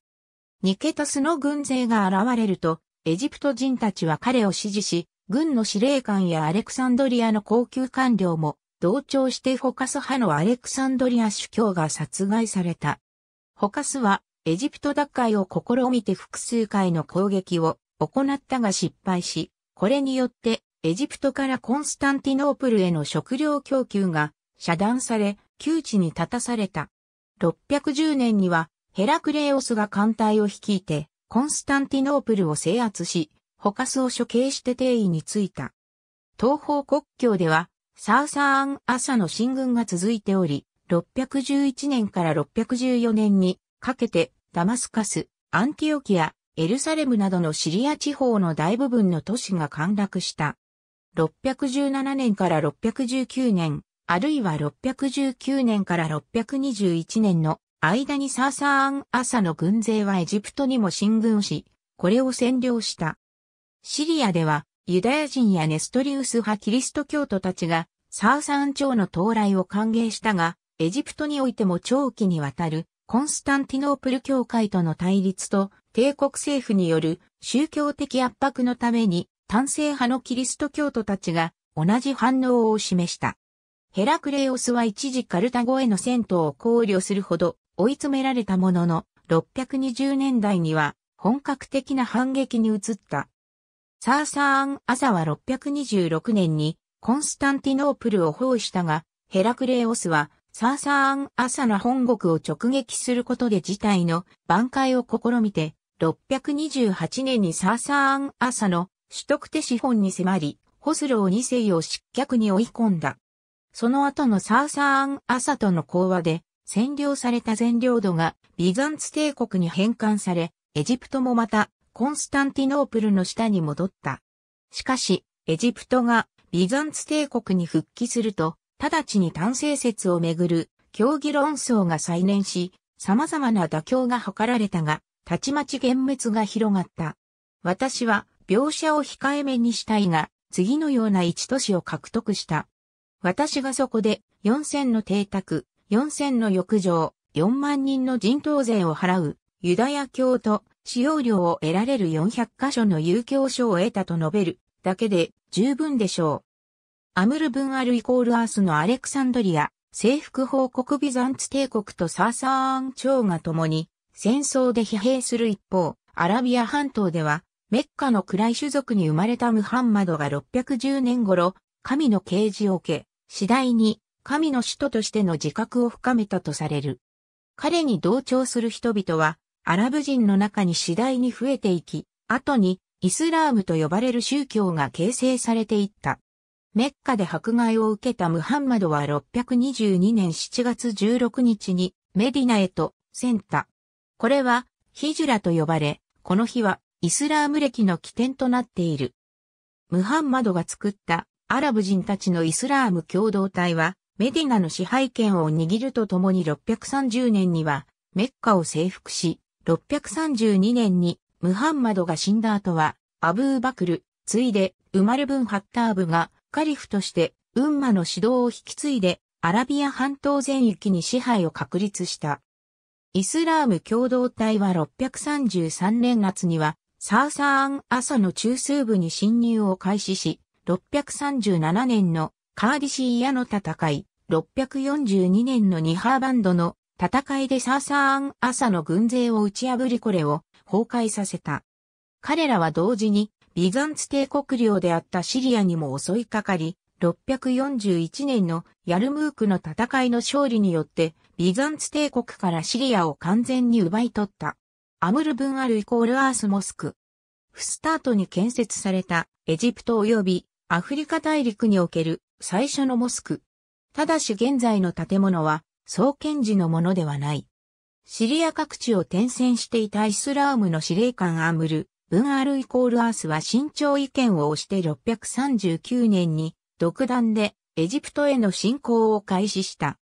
シリアからエジプトへの入り口にあたるペルシウムの城塞は、サーサーン・アサとの戦争の後修繕されておらず、1ヶ月で陥落し、641年4月には、現在のカイロ南港にあったバビロンが、ムスリムの攻撃を受けた。アレクサンドリア主教、キュロスと、ビザンツ軍司令官テオドロスが救援に向かったが敗れ、キュロスはバビロン市内に封じ込まれ、テオドロスはアレクサンドリアへ交代した。ビザンツ帝国における宗教対立はサーサーアン・アサとの戦いの時と同じようにムスリムとの戦いにも影を落としていた。エジプトの反ビザンツ派の司教ベニヤミン一世はムスリムの軍隊を受け入れ、キリスト教徒たちは抵抗しないように事前に指示されていたと言われる。キュロスはアラブ人たちへの効能の支払いに同意し、ムスリム側と会談を行って提示された和平条件を皇帝ヘラクレーオスに伝えるべくアレクサンドリアに赴いたが反逆罪に問われ追放された。間もなくバビロンは陥落し、周辺都市も制圧されて凄惨な殺戮と略奪が繰り広げられた。同年にヘラクレーオスが死去し新たにコンスタンス2世が即位するとキュロスが復帰したが、彼はエジプトの維持を諦めており、定額の効能、ビザンツ軍の安全なエジプトからの撤退、エジプトの奪回を試みないことなどを訳して、ムスリムと講和を結んだ。同年中にアレクサンドリアは引き渡され、ビザンツ帝国はエジプトを創出した。アムルブンアルイコールアースがバビロン近郊に構築した野営陣地がエジプトの新たな行政的中心として整備された。これは、フスタートと呼ばれ、その後300年余りにわたってエジプトの首都となった。フスタートという名称はおそらく野営地を意味するギリシア語がアラビア語に転化したものと考えられ、アラブ人たちの初期の入植地の性質をよく示している。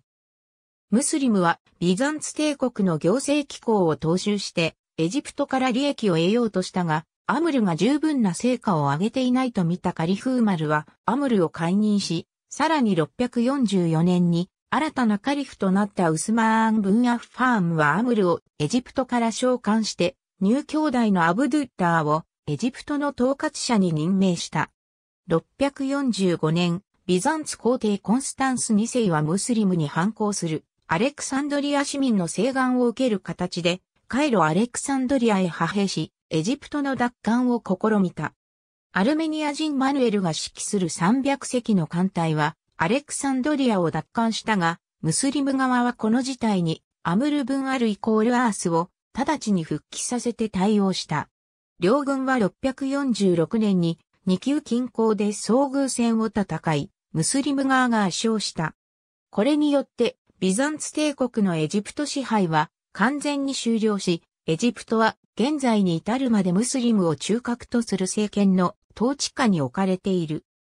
ムスリムの征服ムハンマド下における征服622年から632年政党カリフ時代における征服632年から661年、ウマイヤ朝時代における領土拡大、661年から750年、アラブ人たちのイスラーム共同体はエジプトから中央、アジアに至る広大な地域を征服したが、ウスマン治世中には征服活動が一段落した。そのためウスマンは戦争に伴う戦利品の分配という伝統的な兵士たちへの報酬形態を改め、メディナから各地に徴税官を派遣して税を集め、その歳入からアラブ人兵士たちに一定の俸禄を支払うという改革を行った。そして、これを担当する官庁がメディナに設置された。しかし、急激な制度変更には不満の声が強く、兵士たちは貢献度に見合った報酬の分配を求めて、反抗の機運を高めた。ウスマーンが自らの一族に養殖を優先的に委ねていたことが不満をさらに増幅した。各地の急進派がメディナに向けて進発し、エジプトのフスタートにいた不平派も同じくメディナへと向かった。彼らはウスマーンを殺害し、混乱の中で代わってアリーがカリフイに着いた。しかし、ウマイヤ家のシリア総督ムアービアは、ウスマンの報復を誓い、アリーと衝突した。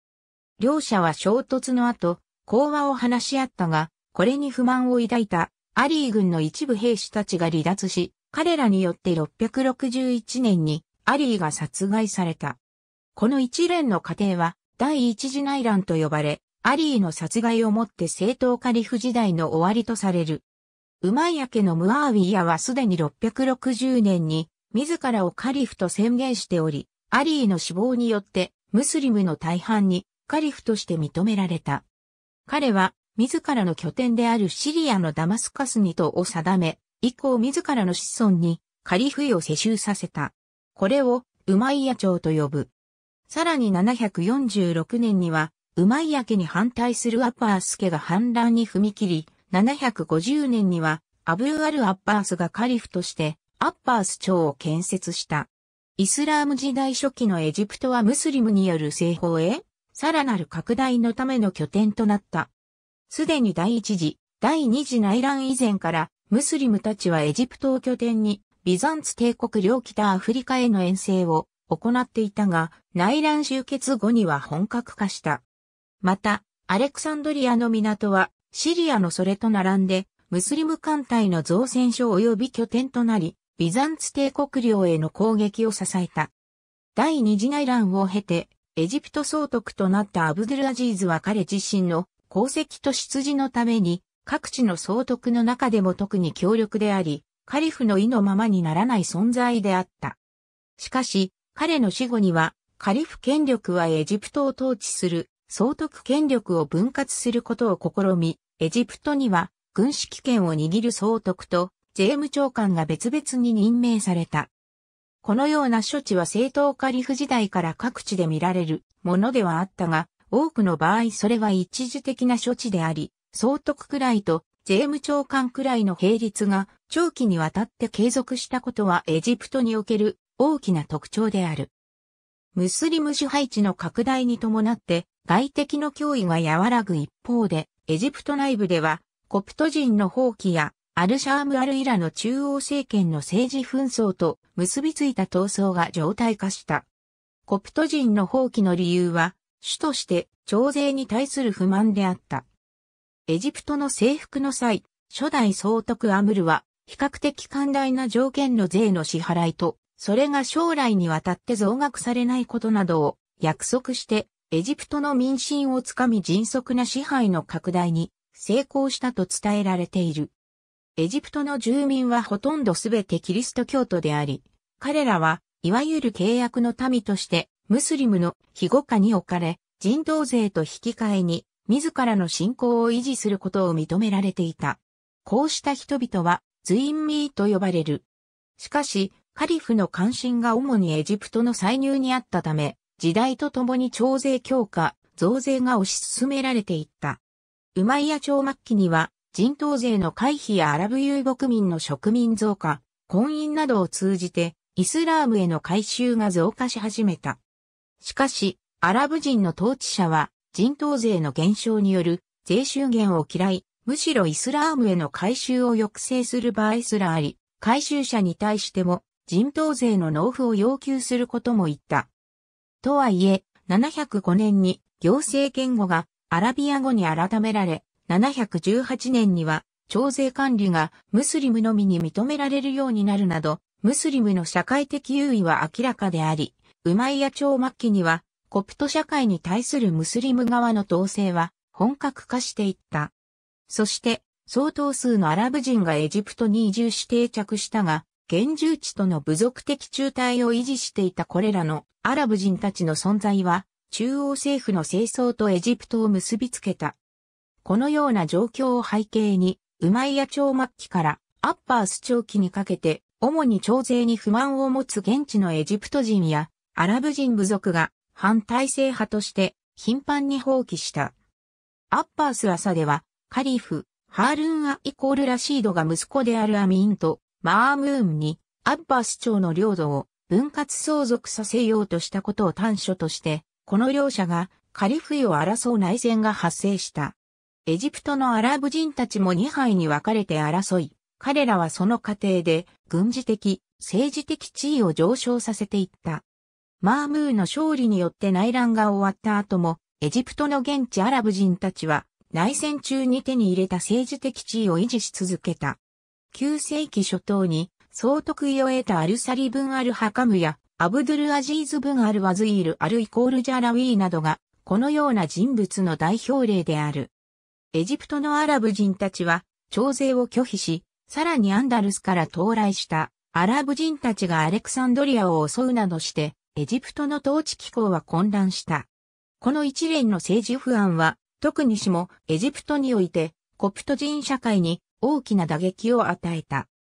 カリフマームーンはエジプトの統制を回復すべく長期にわたる努力を続け、825、826年にマームーンによって派遣されたイブン・ターヒルがアレクサンドリアのアンダルス人を放逐するとともに数年がかりでエジプトの秩序回復に成功した。コプト人たちはなお徴税に対する抵抗を続け、830年頃には、こうした抵抗運動の中で最大かつ最後となるバシュムール反乱が発生したが、カリフ・マームーン自らが率いた軍による苛烈な破壊によって鎮圧された。しかし、王朝がすべての栄誉を独占し、アラブ人を行政上の地位から締め出したとき、最小職はバルマク家やサフルブン・アウバフト家やターヒルカ、後では、ブワイフ家のようなペルシャ系家臣、またブガーヤワ政府、ウターミシュ、バーキアーク、イブントゥールーン及び彼らの子孫のようなトルコ系家臣、その他の非アラブ人の家臣に委ねられた。こうして、アッバス朝は、創設に尽くした者以外の人々の手で左右されるようになり、その権力も最初に獲得した者以外の人々に移った。これは神がその召使いを取り扱われる方法である。イブン・ハルドゥーン、歴史除説第3章17、9世紀に入ると、アッパース朝のカリフを中心としたイスラーム世界の秩序は大きな転機を迎えていた。その要因の一つはマムルーク、またはグラームなどと呼ばれる奴隷兵士の台頭である。アッパース朝期のヒアラブ人の役割の増大や内戦、中央アジアのトゥルク人奴隷兵士の大規模購入などを通じて、奴隷兵士たちがアッパース朝の軍事、社会において大きな役割を果たすようになっていった。もう一つの要因は、アッパース朝の中央政権の求心力が低下し、各地で自律的な政権が誕生していったことである。すでに、イベリア半島ではあとウマイヤ朝、モロッコで、イドリース朝、イフリーキーヤで、アグラブ朝が成立して、アッバス朝の統制を離れていたが、アミーンとマームーンのカリフくらい争いによる内乱が、この分裂傾向に拍車をかけた。イラン高原ではサッファール朝、サーマーン朝、ターヒル朝が成立している。この大きな潮流の中、カリフとなったムータスイムは、伝統が長く、自分への忠誠心が疑わしいアッバース朝の旧来の主力軍団に代わる、子外の戦力として大量のマムルークを購入したが、首都バグダードの市民やホラーサーン軍団の強い反発を受けたことから、手勢のマムルーク軍団を守るために、サーマッラーへの戦闘を行った。この時サーマッラーに、ムータスイムと共に移動したフェルガナ出身のマムルーク軍人の子供に、アフマド・ブントゥールーンがいた。成長した彼は868年に総督の副官としてエジプトに派遣され、ほどなくして独立政権を打ち立てた。これがトゥールーン朝である。イスラーム世界の多極化を示す地図。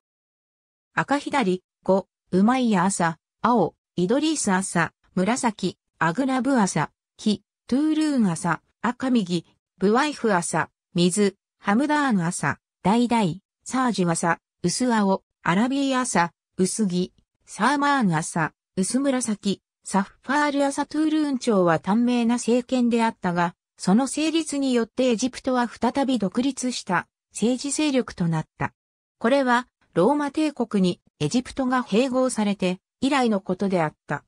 トゥールーン朝の成立はエジプトに大きな経済的繁栄をもたらすことになる。長期にわたり、徴税のみを主たる興味の対象とする担任期の総督たちによって厳しい徴税にさらされ、生産物を中央に奪われていたエジプトは、イブントゥールーンによる自立と彼のシリア・パレスチナへの勢力拡大によって逆に小帝国の中央となった。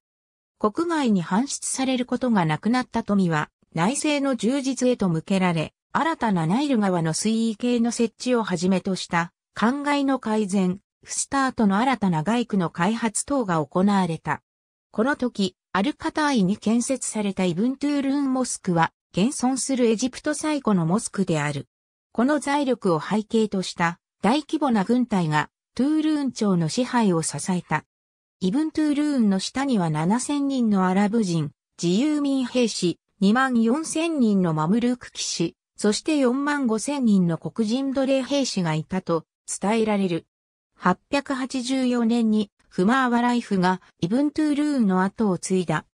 フマーワライフは豪華な宮殿の建設、娘、カトラールナダーのアッバース朝カリフへの腰入りの際の法外な持参金など、その宝刀ぶりを伝える多彩な逸話が残されている。イスラーム美術としては、非常に珍しい生前の人物の彫像、すなわち、フマーワライフ自身と日立の等身大の木像も作られたという。彼の存命中はなお、トゥールーン朝は繁栄を謳歌していたが、その死後には軍への給与支払いが可能なだけの資金は残されていなかった。軍団からの支持を失ったトゥールーン朝は無政府状態へと陥り、905年にアッパース朝によって取り潰された。ほぼ同じ頃、イスラーム教シーア派の一分派であるイスマーイル派がイフリーキーヤで宣教活動を行い、現地ベルベル人のクターマ族の支持を獲得することに成功した。イスマーイール派の指導者ウバイドゥッラーはシリアからチュニジアに渡り、910年に自らがマフリーかつカリフであると宣言した。彼は第四代正統カリフであるアリーの妻、ファーティマの血を引くと称しており、この新たな政権をファーティマ朝と呼ぶ。スンナ派を中核とするアッバース朝カリフに対し、シーア派の指導者がカリフを宣言して対抗姿勢を明らかにしたことは、イスラーム世界における新たな出来事であった。当初、カリフバイドゥッターは、イフリーキーヤに打ち立てた政権をあくまでも、アッパース朝に対抗するための当座の拠点であると位置づけており、最終目標として、アッパース朝の打倒を目指した。そのため、ファーティマ朝は成立直後から闘神を企て、早くも913、914年冬にはエジプトに遠征軍を派遣した。この遠征軍は当初アレクサンドリアを占領しフスタートに迫ったが撃退され、919、920年に再度攻撃をかけたもののこれも失敗に終わった。エジプトでの敗北によって、ファーティマ朝は短期間でのアパース朝打倒を諦め、イフリーキーヤでの基盤づくりに方針を切り替えた。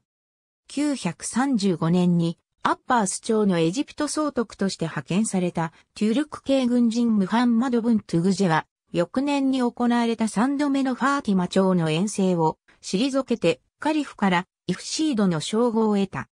その後、彼はイブントゥールーンと同じようにマムルークと黒人兵士を集めて独立勢力化しアッバース朝の統制を離れた。しかし、ファーティマ朝の第四代カリフムイッツがシチリア島出身のジャウハルを司令官として再びエジプト遠征を開始すると、イフシードアサは有効な対応を取ることができなかった。969年7月にジャウハルがフスタートに入場し、イフシードアサは短命の歴史を終えた。ファーティマ朝は征服直後からフスタートの北に新たな都の建設を開始した。この都市はアルカー・アルムイズイーヤと命名され、カリフ・ムイッツは973年にここに拠点を移した。以降アラブ人たちはこの都市を単にアルカーと呼んでいる。カイロのアズハルモスク。エジプトを征服したファーティマ朝はさらに東西へと勢力を広げ、第五代カリフのアブーマンスール・ニザール・アル・アジーズの時代には金曜礼拝のフトゥバにおいて彼の名前を唱える地域は大西洋岸からモロッコとシリア、ヒジャーズ、さらに一度だけとはいえ北部イラクのモースルにまで広がり、名目上はこの全域にファーティマ朝の支配が及んだ。イスマーイール派政権であったファーティマ朝は成立当初、イフリーキーヤにおいてスンナ派への激しい攻撃を行い、数多くの亡命者や死者を出すなどしていたが、エジプトの征服に際してはシーア派の礼拝形式の導入を行うなどはしたものの、寛容な方針であたり、スンナ派住民の強制的な改修などは行われなかった。カリフ・ハーキムの時代に行われた過酷な弾圧こそ有名であるものの、キリスト教徒やユダヤ教徒はイスラーム期に入って以来かつてなかったほどの寛容さを享受し、ファーティマ朝時代はヒムスリムの黄金時代であったともされる。ワズイールをはじめとした政府公官職にキリスト教徒が任命されることも珍しくなく、キリスト教やユダヤ教の施設に支援が行われ、カリフがそれを訪れることもあった。商工業や美術に対する統制も緩く、ファーティマ長期のエジプトは経済的に繁栄し、工芸が栄えた。学術研究も盛んになり、アジーズの時代に建設されたアズハルモスク付属のマドラサはその後エジプトを代表する教育機関へと発展した。これは今日でもアズハル大学として存続している。そして、ハーキムの時代には、シーア派の教義を普及させるという目的を帯びて、学芸、英知の館と呼ばれる学術施設と基金が設立され、天文学や工学が発達した。ハーキムの死後、王朝の実験は、次第にワズイールたちの手に移るようになり、またベルベル人、トゥルク人、アルメニア人、ユダヤ教徒、キリスト教徒、黒人など様々な勢力が複雑な権力闘争を繰り広げ、政治は不安定化した。1073年にワズイールとして抜擢されたアルメニア人、バドレ・アルジャマーがアルメニア人軍団の勢力を背景に一時的な混乱の収集に成功したものの、その死後以降は各派閥に押されたワズイールたちの間で絶えることのない争いが続けられた。同時に東方のイラクでは新たな事態が発生していた。それは中央アジアから到来したセルジューク族の活動である。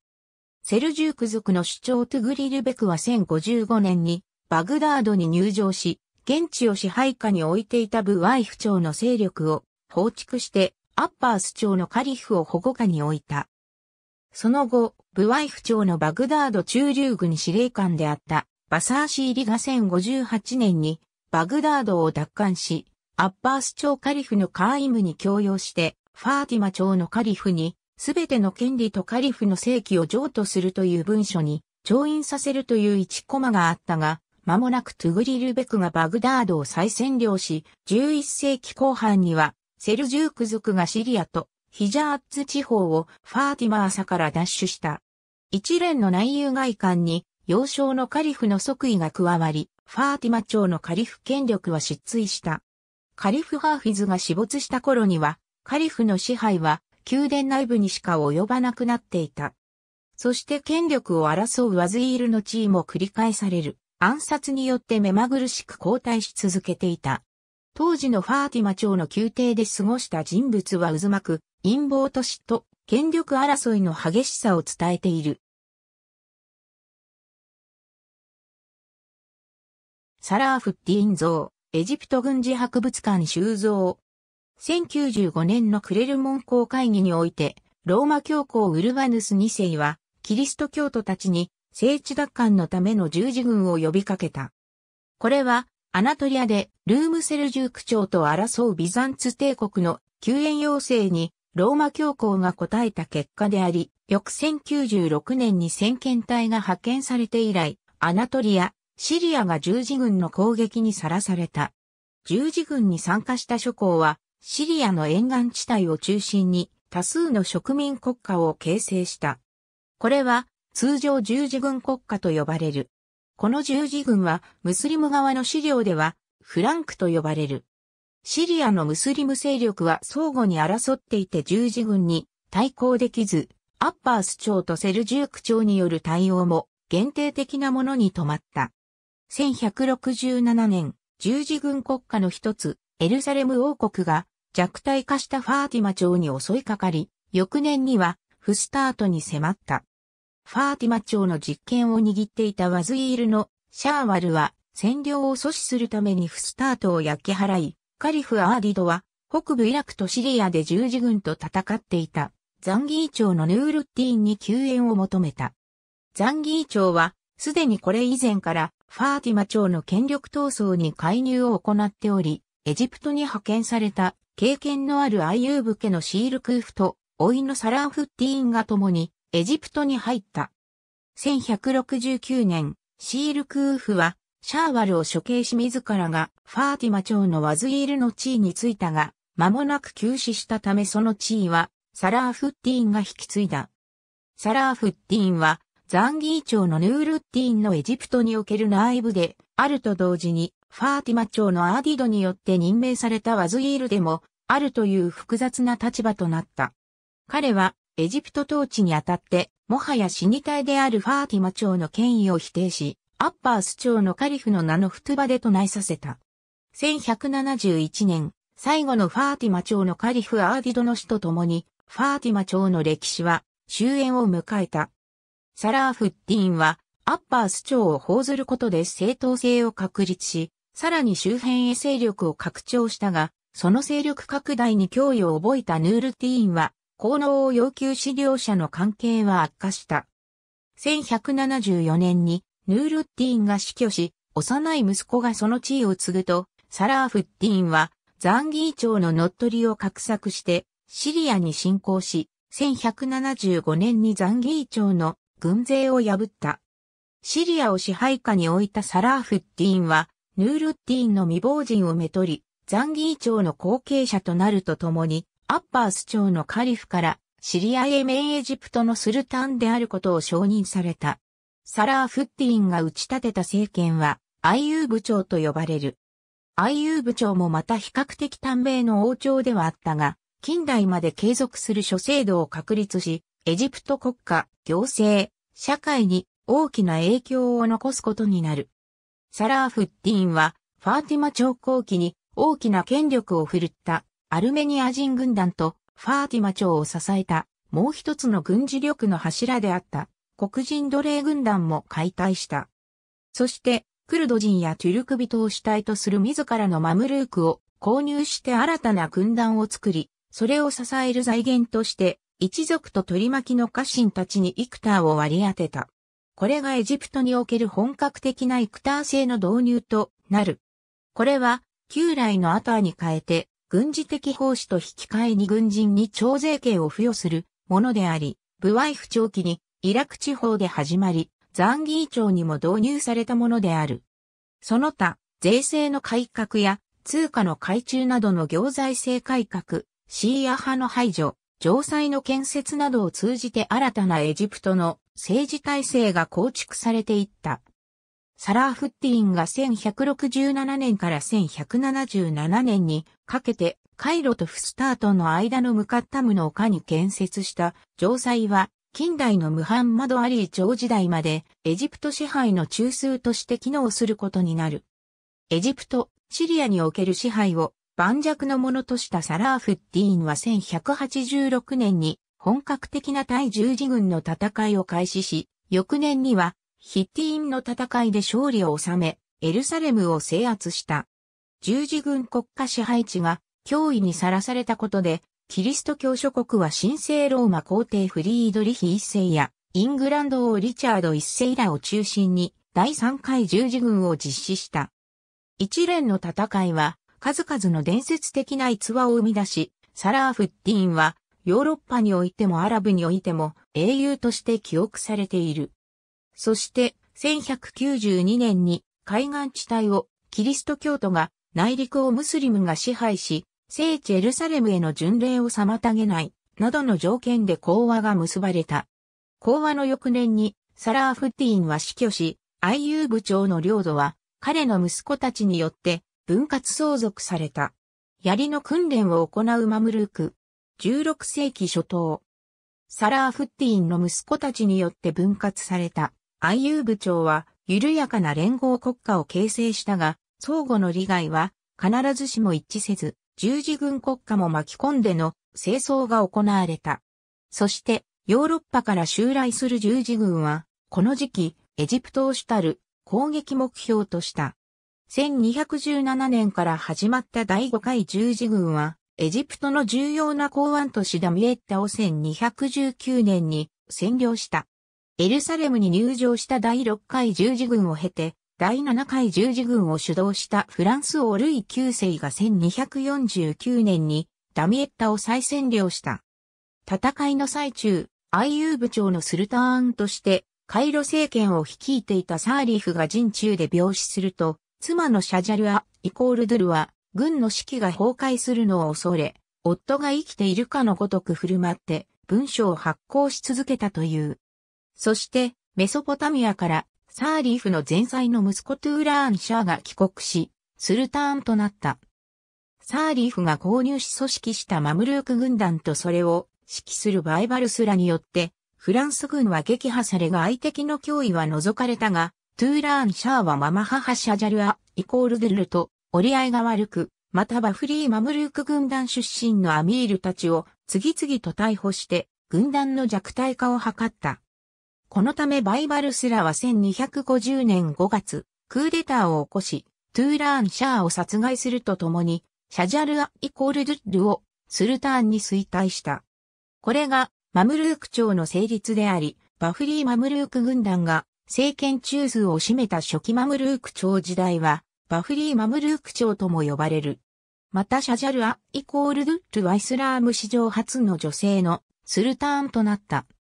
しかし、女性スルターンの誕生には広範な反発が巻き起こり、情勢不穏を感じ取ったシャジャルア、イコールドゥルは、バフリー・マムルーク軍団の総司令官イッツ・ディーン、アイバクと結婚し、即位から80日後にこの新たな夫に、スルターン・イお嬢とした。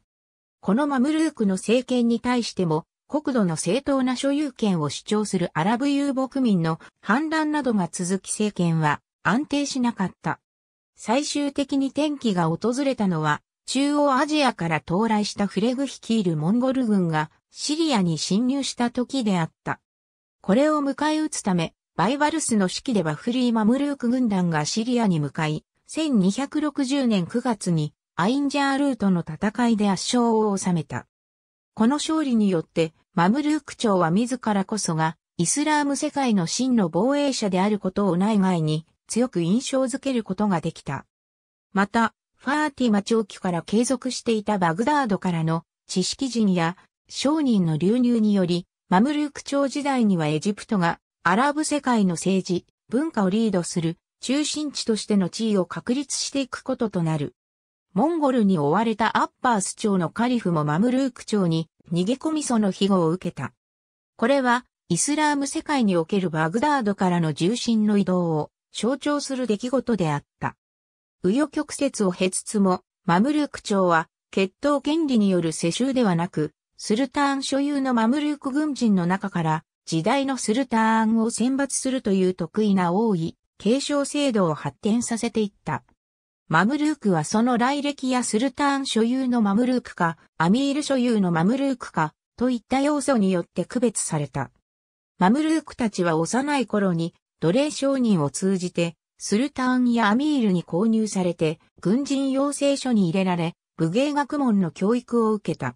そして成人後には、主人のもとで軍人として職務に就いた。彼らの養育費はすべて主人の負担であり、主人とマムルークの関係は親子のようなものとみなされていた。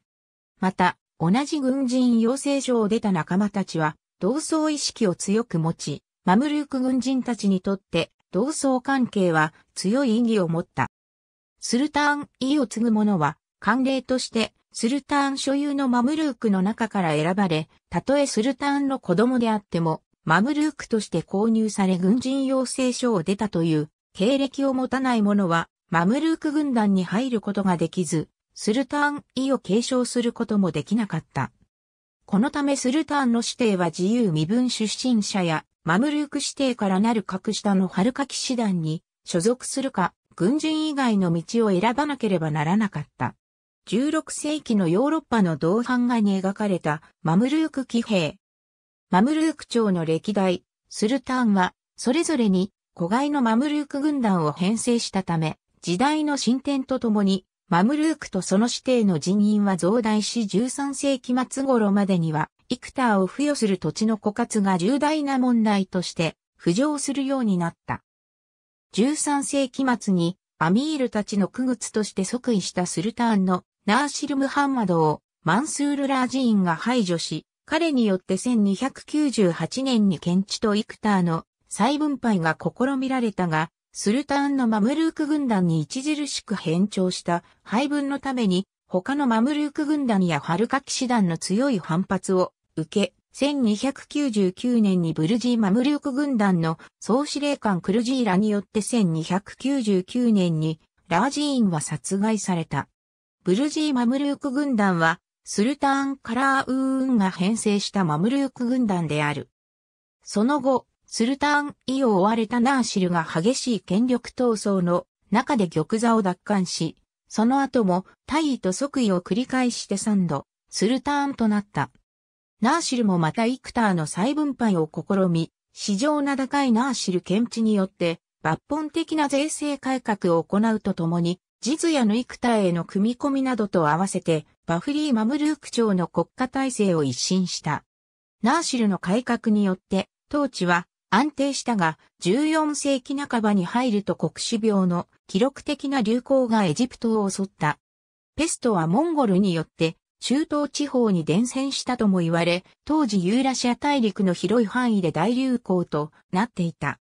エジプトでも1347年の最初の流行以降、マムルーク朝の滅亡に至るまで、平均して8から9年に一度の割合で、ペストの流行が断続的に続き、総人口の4分の1から3分の1が失われたとされる。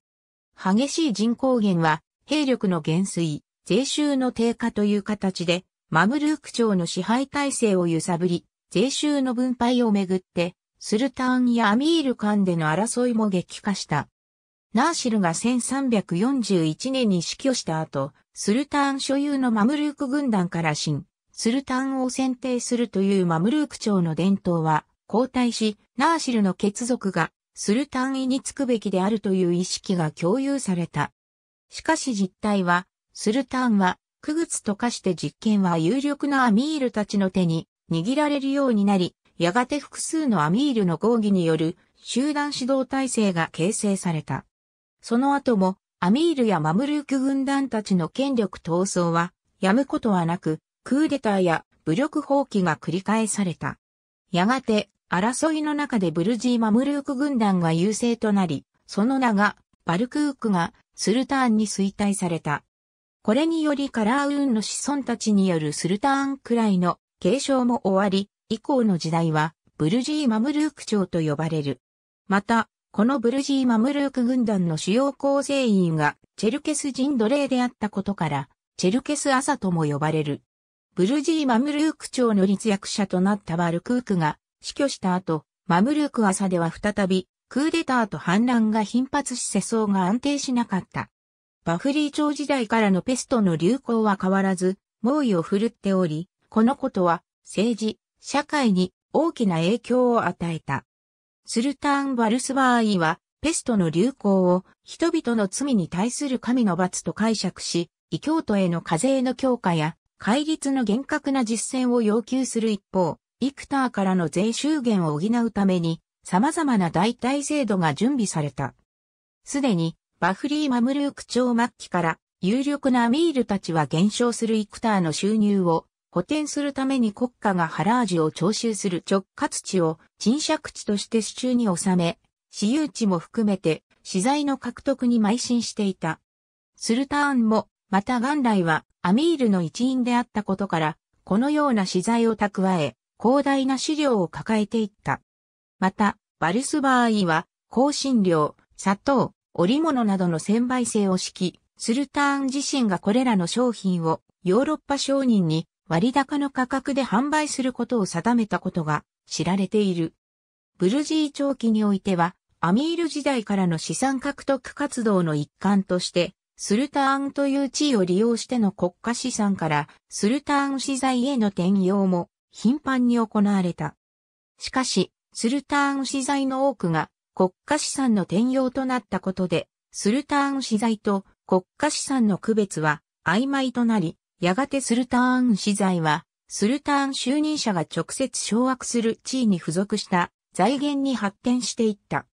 マムルーク朝が財政難や様々な政治的混乱を乗り切るべく大きな変化を遂げている最中、中東ではオスマン帝国が急速に勢力を拡大し、政治地図を大きく塗り替えつつあった。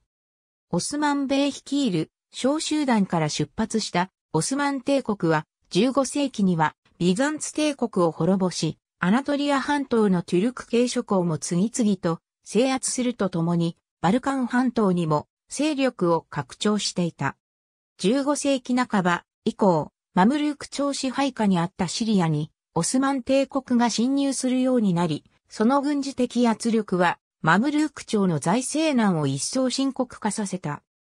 重火器を多用するオスマン帝国軍に対抗するために、マムルーク朝でも銃砲の導入が進められたが、騎乗して戦うことを重視したマムルークたちがこれを忌避したため、身辺の軍団や傭兵という形で銃砲を装備した不評軍団が整備された。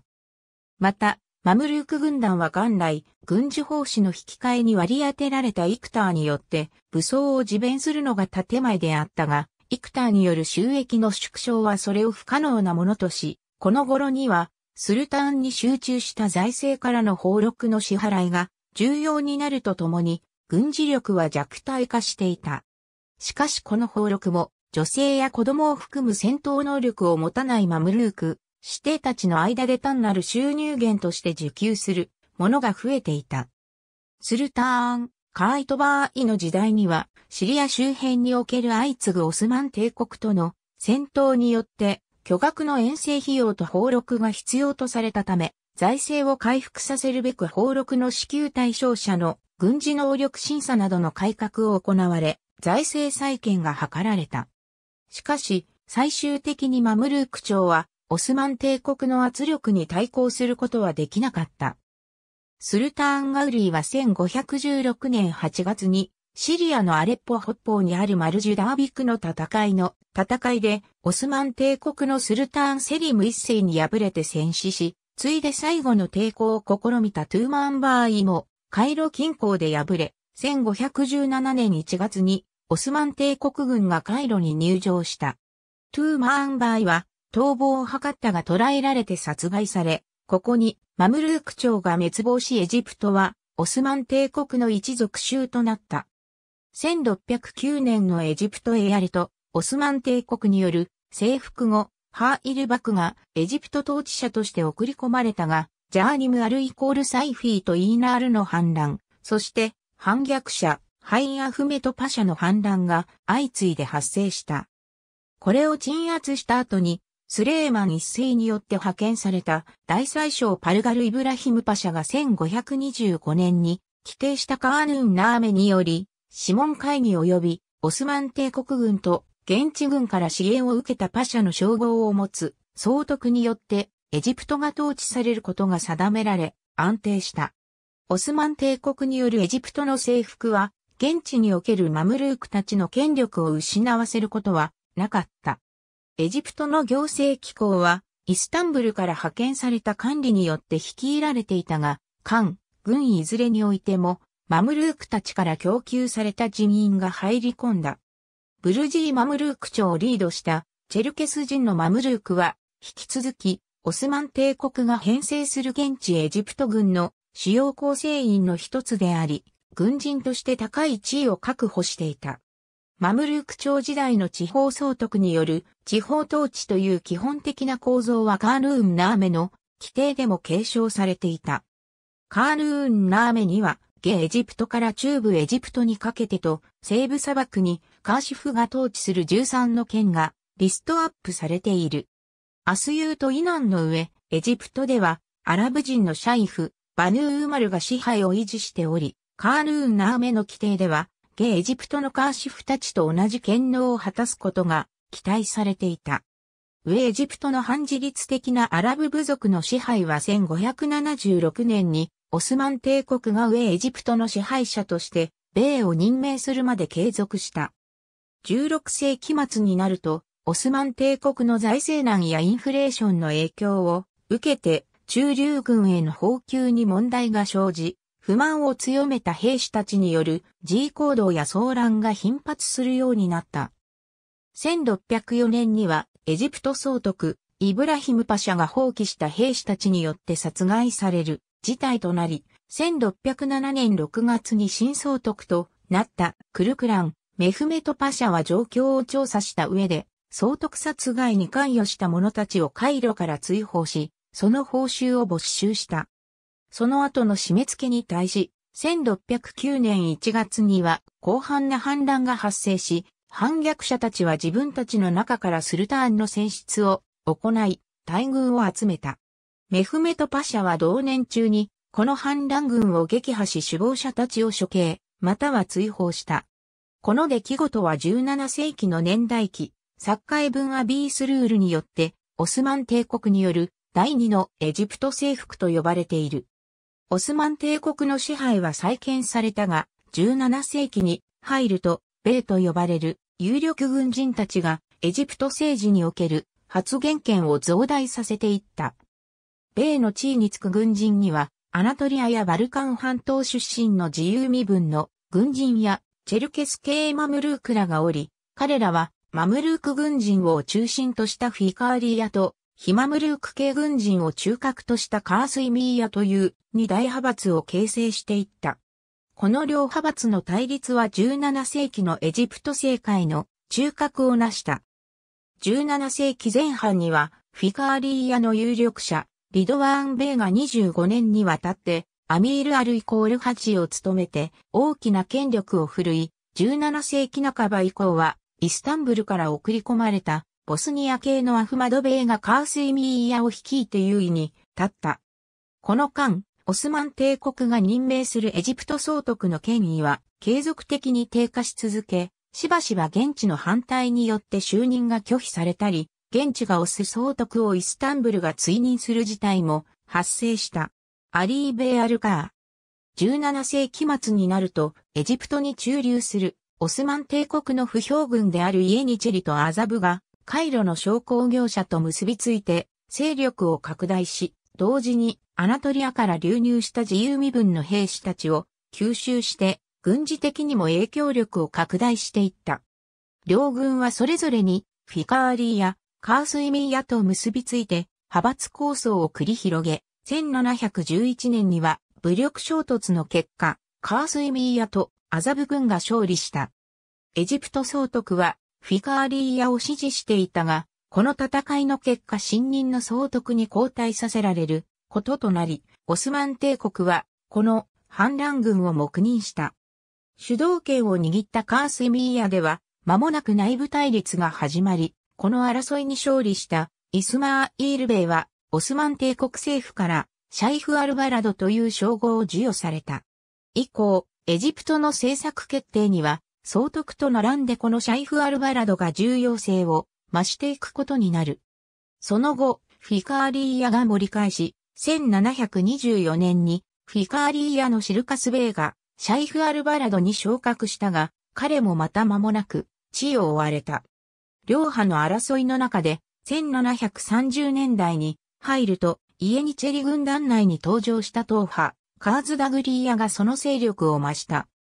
1736年にカーズダグリーヤの主導権を握ったイブラーヒーム・カトフダーは派閥構想に最終的な勝利を収めていたフィカーリーヤの勢力を一掃し、カーズダグリーヤによるエジプト支配体制が形成された。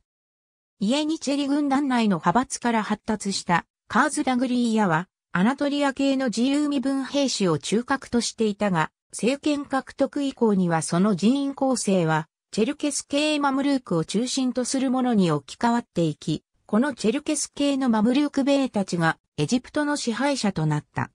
18世紀後半、グルジア系のアリーベーアルカーがカーズダグリーヤの首領、アブドゥンラフマーン・カトフダーから主導権を奪い、エジプトの支配権を握った。アリーベイは19世紀にエジプトの支配権を握るムハンマド・アリーの先駆者とも言われ、1769年にロト戦争に苦しむオスマン帝国の弱みをついてエジプトの独立を図った。ロシア帝国と呼応したアリー・ベイはパレスチナで同じように自立を目指していたアクレ総督ザーヒル・アルーマルと結び、帰化の将軍を植え、エジプトやシリアに派兵して、広大な地域を支配下に収めた。しかし、アリーベイの構想はシリア遠征軍を任せていた。将軍ムハンマド・アブアイコールザハブの裏切りによって頓挫した。アブーアイコールザハブはオスマン帝国と密約を結んで自らの地位の保障を得るとエジプトに戻ってアリーベイを攻撃し1773年に完全にこれを打ち破った。その後エジプトの支配者となったアブーアイコールザハブも1775年に急死し、その配下であったムラードベイとイブラーヒームベイがエジプトの二島支配体制を確立した。1786年、オスマン帝国本国でロト戦争で海軍を率いて活躍した大宰相ジェザイル・リガーズイ・ハサン・パシャが有名無実化していたエジプトに対する中央政府の支配権を回復すべく行動をとった。ハサン・パシャはエジプトに遠征を行って、これを平定し、一時的にオスマン帝国によるエジプト支配体制を再建することに成功した。だが、ロト戦争が再び勃発するとハサン・パシャはエジプトを去ることを余儀なくされ、上、エジプトに逃れていたムラードベイとイブラーヒームベイが再び支配権を回復した。両者は1798年のナポレオン・ボナパルトによるフランス軍のエジプト遠征までエジプトの支配者の地位に止まった。19世紀前半のエジプトの歴史は事実上この一人の男の物語である。1952年までその支配を続けたこの王朝の建設者ムハンマド・アリは、エジプト建国の父、少なくとも、近代エジプトの、と呼ばれて叱るべき人物だった。彼が発揮し、あるいは行使した、創意、活動力、構想のどれをとっても、同時代のイスラーム教徒で、彼に匹敵する者はいなかったし、平時においても、戦時においても彼は軍を抜いていた。フィリップ・ケイ・ヒッティ、アラブの歴史家、ムハンマド・アリー。1789年に始まったフランス革命と、その後の混乱、戦争を通じて、頭角を表したナポレオン・ボナパルトは、対仏大同盟の中心となっていたイギリスに打撃を与えるため、イギリスとインドの中継交易路であったエジプトの制圧を目論んだ。表向きには実権を握るマムルーク・ベーラを排除し、オスマン帝国の権威を回復するという名目のもと、1798年にフランス軍がエジプトに上陸し、7月21日にムラードベイやイスマーイールベイが指揮する軍勢を貨幣を持って打ち破った。フランス軍はそのままエジプトを占領し、統治下に置いたが、ネルソン提督率いるイギリス艦隊によって、アブキール湾に停泊中のフランス艦隊が壊滅させられ、形成挽回を狙ったシリア侵攻も不守備に終わったことから、ナポレオンは1799年に本国に引き上げた。現地に残されたフランス軍は1801年まで持ちこたえたが、イギリス軍、オスマン帝国軍、現地エジプト軍などからの攻撃によって降伏に追い込まれ、フランスによるエジプト支配は終了した。フランス軍が去った後、エジプトではオスマン帝国軍やオスマン帝国が送り込んでいたアルバニア人不正規部隊、舞い戻ってきたマムルークたち、そしてイギリス軍などが主導権争いを演じ、その中でムハンマド・アリーが急速に存在感を増した。もともとアルバニア人不正規部隊の一分隊長としてオスマン帝国によってエジプトに送り込まれていたムハンマド・アリーはフランス軍との戦いの中で頭角を現した。その後の権力闘争にも勝利して権力を握り、1801年にカイロ市民からの衰退を受ける形でオスマン帝国に自らをエジプト総督に任命することを認めさせた。その後、ムハンマド・アリーは1811年に息子のアフマド・トゥーソンの司令官任命式の名目でマムルークたちをカイロのシタデルに呼び集め殺戮した。これによって数百年以上にわたってエジプトにおける上層階層として君臨してきたマムルークという階層がエジプトの歴史の表舞台から去ることになった。ムハンマド・アリーは実質的に独立した君主としての地位を確立していたが、名目的にはエジプトはなお、オスマン帝国の一族州であり、その法的地位は、オスマン帝国の滅亡に至るまで、紛争の種としてくすぶり続けた。ムハンマド・アリーは内政においては、主要産品の専売制の確立、税制の改革、灌漑事業などを通じて大幅な再入増を達成し、それを背景に交通路の整備、軍需産業と紡績を中心とした工業の発展、学校教育の普及などが試みられ、エジプトの国力は大幅に拡充された。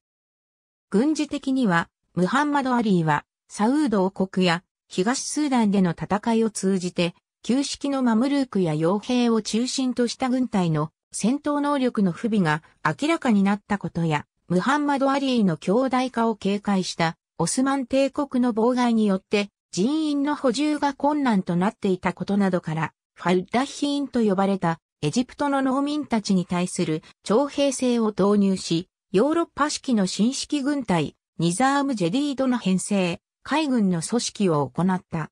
ムハンマド・アリーが整備した新軍隊は、アラビア半島や上エジプトの反乱で勝利を重ねその実力を示した。1821年、オスマン帝国領であったモレアで、ロシアの支援のもと、ギリシャ人たちが放棄すると、劣勢に立たされた、オスマン帝国のスルターン・マフムト2世は、ムハンマド・アリーに出兵を求めた。ムハンマド・アリーは、要求に応じて1822年に、クレタ島に出兵して、これを制圧し、1825年には、モレアに遠征を開始した。ムハンマド・アリーの息子、イブラーヒーム・パシャが率いるエジプト軍は、各々たる戦果を挙げたが、エジプト軍の快進撃を見た、イギリス、フランス、ロシアが介入に乗り出した。1827年に、ホブネ時代の最後の大会戦とも呼ばれる、ナバリノの海戦で、エジプト・オスマン帝国軍は敗れ、エジプト軍は撤退を余儀なくされた。19世紀前半のオスマン帝国周辺の状況。エジプト総督、ムハンマド・アリーの勢力範囲、ギリシャ独立による領土喪失、クリミア戦争時のロシアによる占領地域、ムハンマド・アリーには、モレア出兵の代償として、もともとシリアの統治権が提示されており、彼は損失の代償として、それを要求したが、敗戦とギリシャ独立阻止の失敗で多くを失っていたマフムト2世は、要求を拒否した。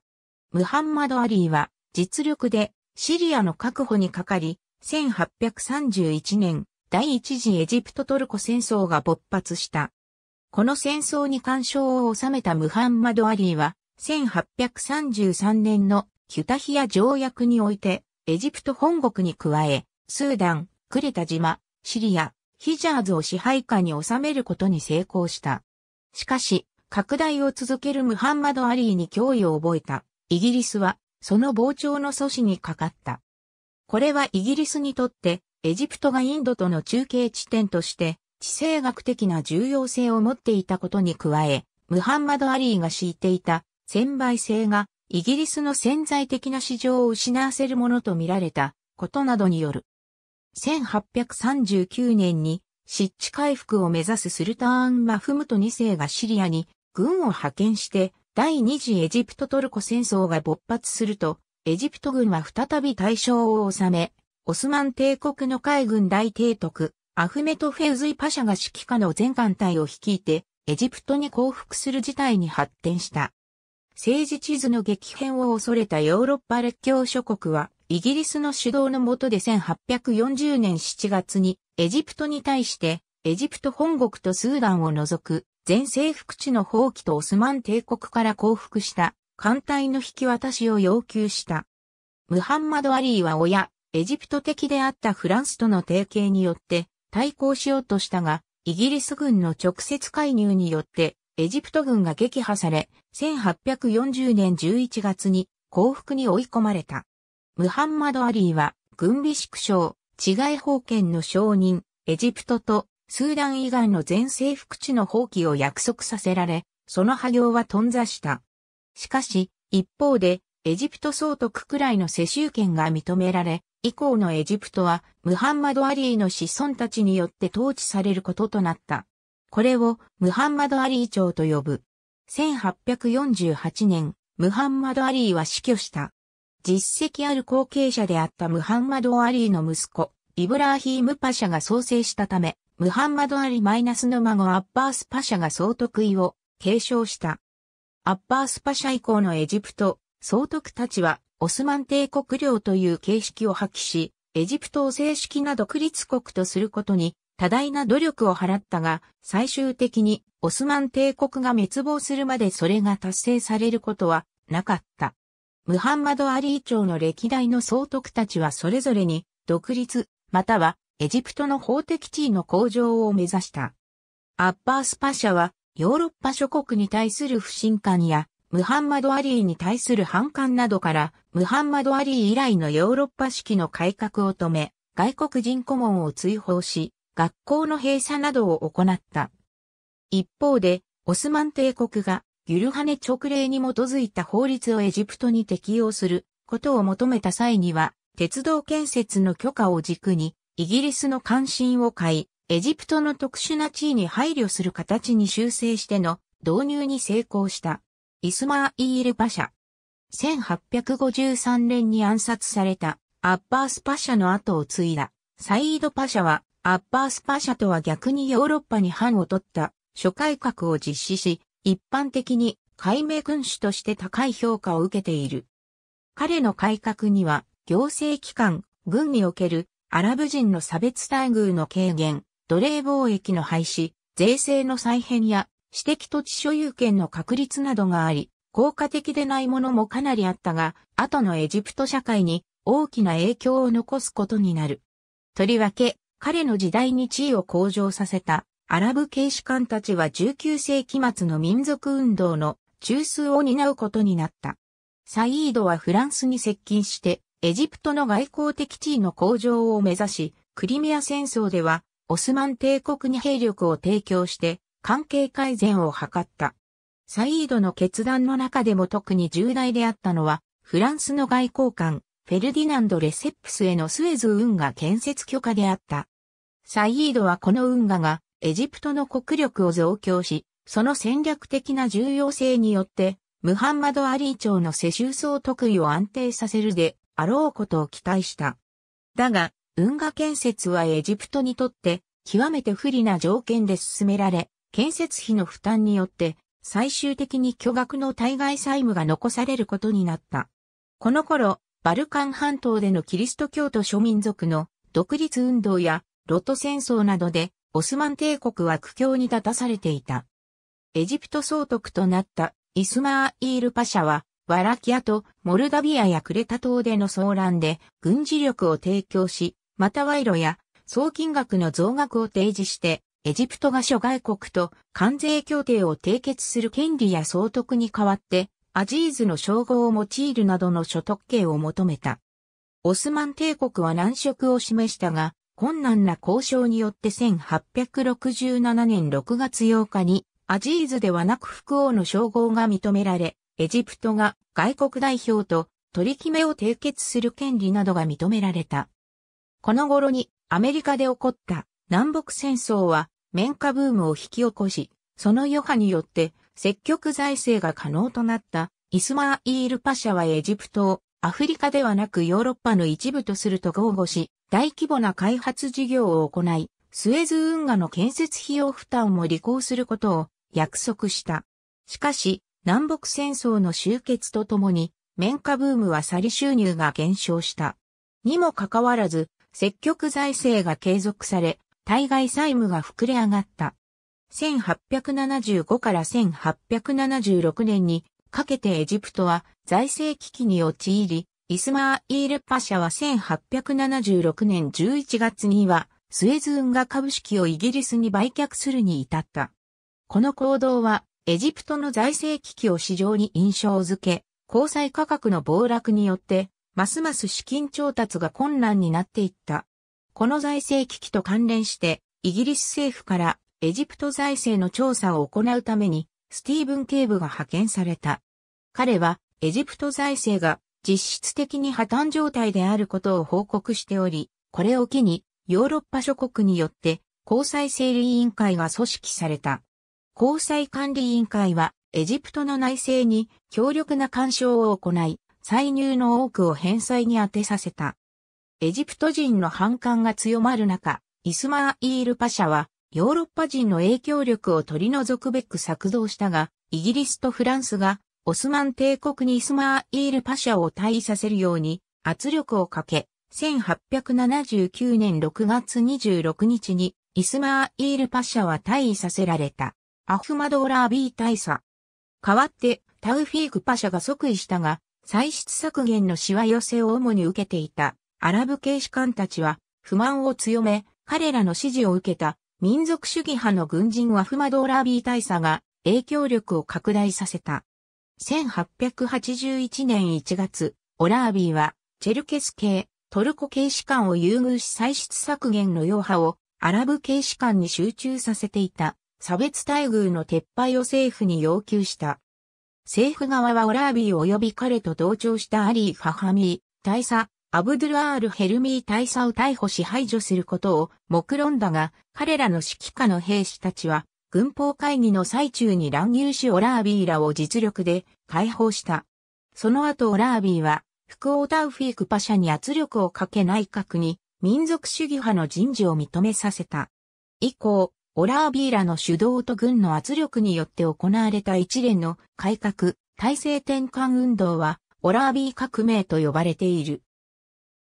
オラービーは、ヨーロッパ人による再建管理体制の転覆を目指し、ヨーロッパに協調的であったタウフィークパシャは、全くこれに抗う術がなかった。エジプトの副王に対する多大な影響力を背景として再建改修を目指していたイギリス・フランスはタウフィーク・パシャへの手こ入れに乗り出し、1882年7月に偶発的な暴動をきっかけにして、イギリス軍がエジプトに進駐し、オラービーらを排除した。以降、イギリスの総領事件代表イブリン・ベアリングがエジプトの内政を管理するようになり、エジプトは実質的にはイギリスの植民地支配下に置かれるようになった。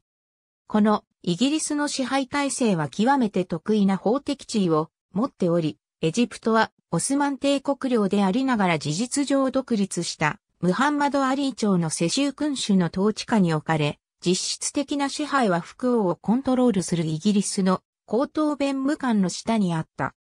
インドルートの関係からエジプトを安定させる必要があったイギリスは、エジプトの財政、経済の再建に尽力し、短期間のうちにそれを達成するとともに官僚機構の後期粛清やインフラの整備を行った。また、エジプト支配下のスーダンで発生していたマフディの反乱を、その指導者マフディ死後の1896年に鎮圧し、スーダンはエジプトとイギリスの共同支配の下に置かれることとなった。アングロエジプトスーダンの地図。イギリスの支配はエジプトの経済、民生の改善に大きな成果をもたらしたが、それでもなお植民地支配の一形態であることには違いなかった。エジプトにはイギリスの紡績産業の原料供給地としての役割が期待され、イギリスの統治を通じてエジプト経済のモノカルチャー化が進展し、20世紀初頭にはエジプトの輸出における綿花の割合は80%を超えた。これはエジプト経済の構造的問題として後に深刻な影響を残すこととなる。イギリスはエジプトの内政に躊躇なく介入したが、一方で言論の自由を保障してもいたため、イギリスの支配下でエジプトの言論活動はむしろ活発化した。外国支配への反発は根強く、またムハンマド・アリー朝の副王アッバース・ヒルミニセイもイギリス支配からの脱却を施行した。しかし、民族主義を報ずるアラブ系の言論人と外国人の王家であるムハンマド・アリー朝は連携を欠いた。1914年6月28日にオーストリア・ハンガリー二重帝国領サライエボで発生したオーストリア皇太子フェルディナンド2世の暗殺事件によって協商諸国と同盟側の間で第一次世界大戦が勃発するとオスマン帝国は同盟側に立って参戦し、さらにエジプト副王アッバースヒルミ2世もこれを起としてイギリス支配への対抗を国民に呼びかけた。これに対してイギリスはアッバースヒルミ2世を大位に追い込み、エジプトをオスマン帝国の総主権から切り離して保護国とすることを一方的に宣言した。第一次世界大戦が協商諸国の勝利に終わり、オスマン帝国も消滅したことでこの処置は確定した。第一次世界大戦は中東の政治地図を一変させた。パレスチナ、ヨルダン、イラクがイギリスの委任統治領とされ、シリアはフランスの支配下に入った。そしてアナトリアではオスマン帝国が崩壊し新たな国民国家、トルコ共和国が成立した。大戦中のエジプトでは生活必需品の価格高騰、食料不足などに不満が高まり、エジプト人の間に激しい反映感情が醸成されていた。イギリスが据えたムハンマド・アリー朝の副王フセイン・カーメルはイギリスへの協力姿勢を見せようと強制的な徴用を行ったことも敵意を増幅した。サード・ザグルール・エジプトでは、第一世界大戦前からムスタファー・カーメルやサード、ザグルールのようなアラブ系の指導者が民族運動の組織化を始めていた。カーメルは1907年に民族主義政党の国民党を組織し、ザグルールは同じ頃に教育省としてヨーロッパ式の高等教育機関であるエジプト国民大学の設立を実現した人物で、1907年人民党に参加した。第一次世界大戦終結後、ザグルールは仲間と共に独立交渉のための代表団を組織し、パリ講和会議に派遣しようとしたが、イギリスの妨害によって実現しなかった。ザグルールはこれを受けて、エジプトの独立とパリ講和会議への参加を求める大々的なキャンペーンを開始し、イギリスは1919年3月にザグルールらワフドの指導的人物を逮捕した。これは全国規模でのデモを誘発した。イギリスは武力鎮圧や調査団の派遣、ザグルールの釈放など困難を織り交ぜた対応で事態の沈静化を試みたが事態は一向に沈静化せず、調査団を率いたアルフレッド・ミルナーは本国にエジプト保護領の維持が得策ではなく二国間条約によってエジプトの情勢を安定させ、スエズ運河の交通の安全や権益の維持を行うことを提言した。しかし、完全独立を強行に主張するザグルールらは、イギリスと妥協することはなく、イギリスは再びザグルールら独立運動指導者を逮捕した上で1922年2月28日にエジプト保護領の廃止とエジプトの独立を一方的に宣言した。イギリスはエジプトの独立の後も軍の駐留を続け有事の際には、エジプトの防衛を担うものとされており、また、スーダンの共同統治も継続されるなど、独立は名目的なものであった。1923年には憲法が制定され、ムハンマド・アリー朝の国王が統治し、上院と下院による二院制を取る立憲君主国が形成されることになった。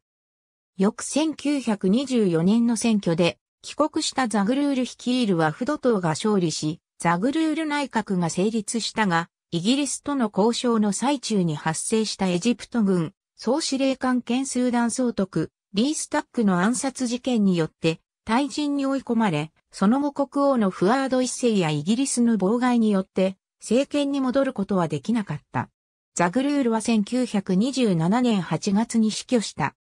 彼は初期の独立運動での大きな貢献、そのカリスマ性からエジプト独立の父と呼ばれ、また彼の妻サフィーアはその後もエジプトの民族運動において象徴的な存在であり続けた。その住居は国民の館と呼ばれ保存されている。こうして成立した独立エジプト政権の時代、おおむね1922年のイギリスからの一応の独立から1952年のムハンマド・アリー朝の崩壊までの時期は自由主義、エジプト、または議会制エジプトとも呼ばれる。とはいえ、イギリスの影響力は引き続き大きく、また各種の不平等条約が残されている状態であったため、民族主義者たちはこれを真の独立とは見なかった。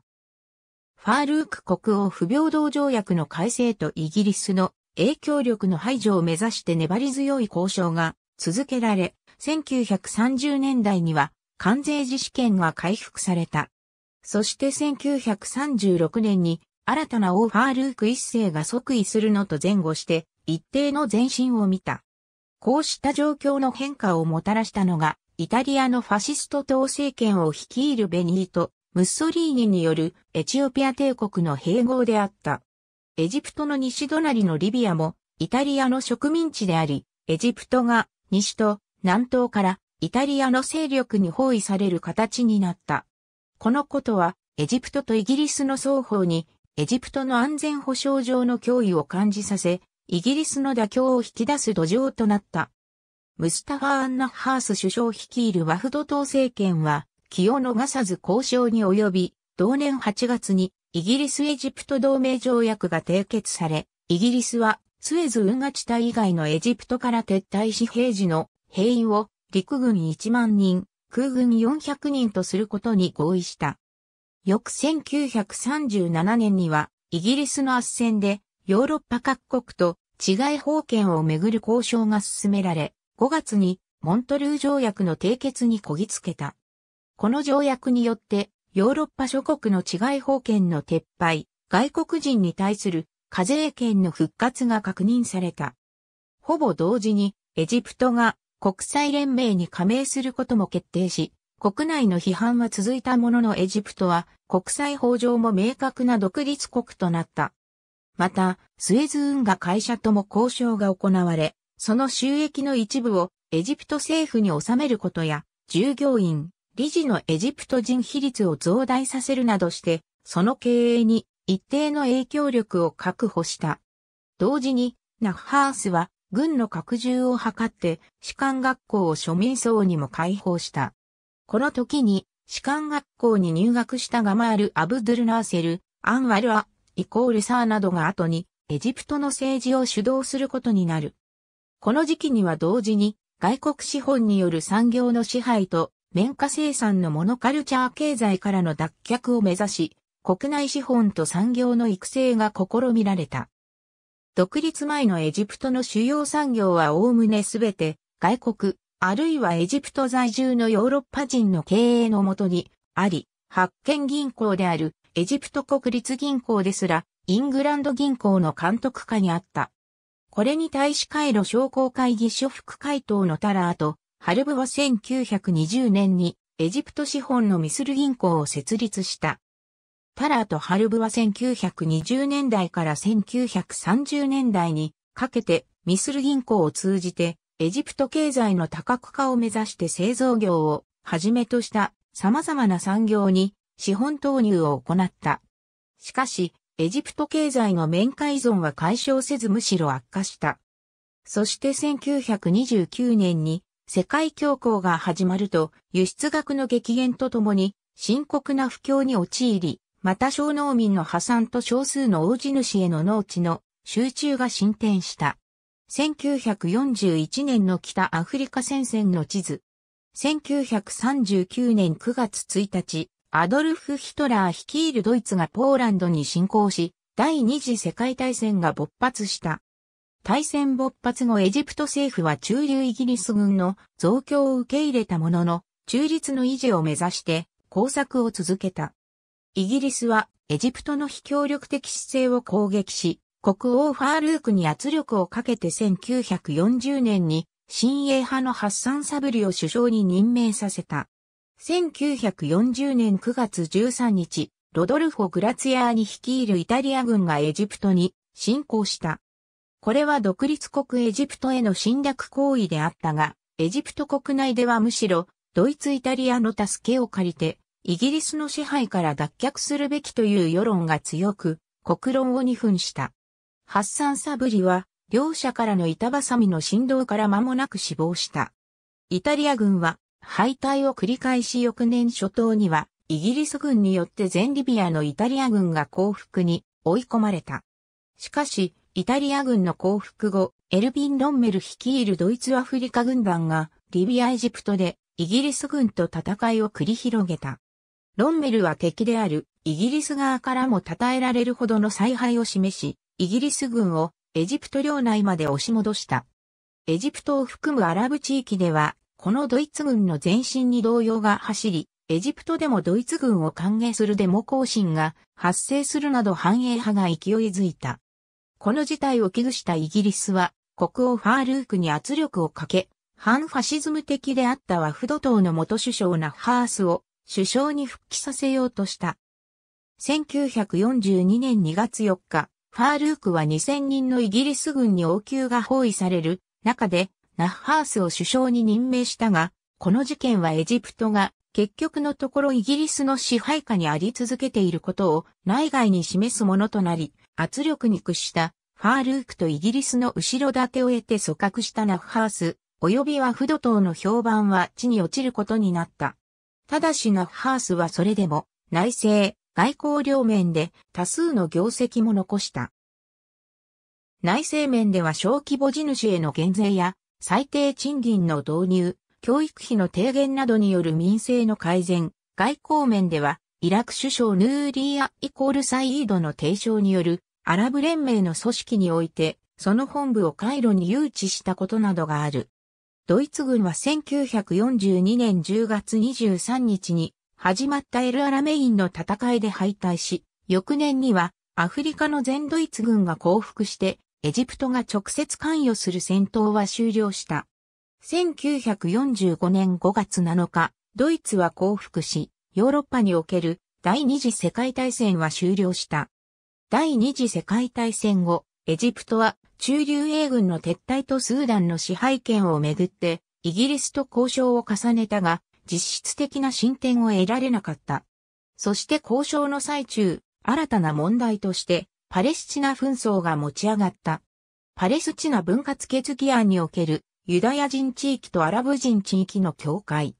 20世紀前半のヨーロッパのユダヤ人の間では、パレスチナへの帰還を目指す運動が活発化していた。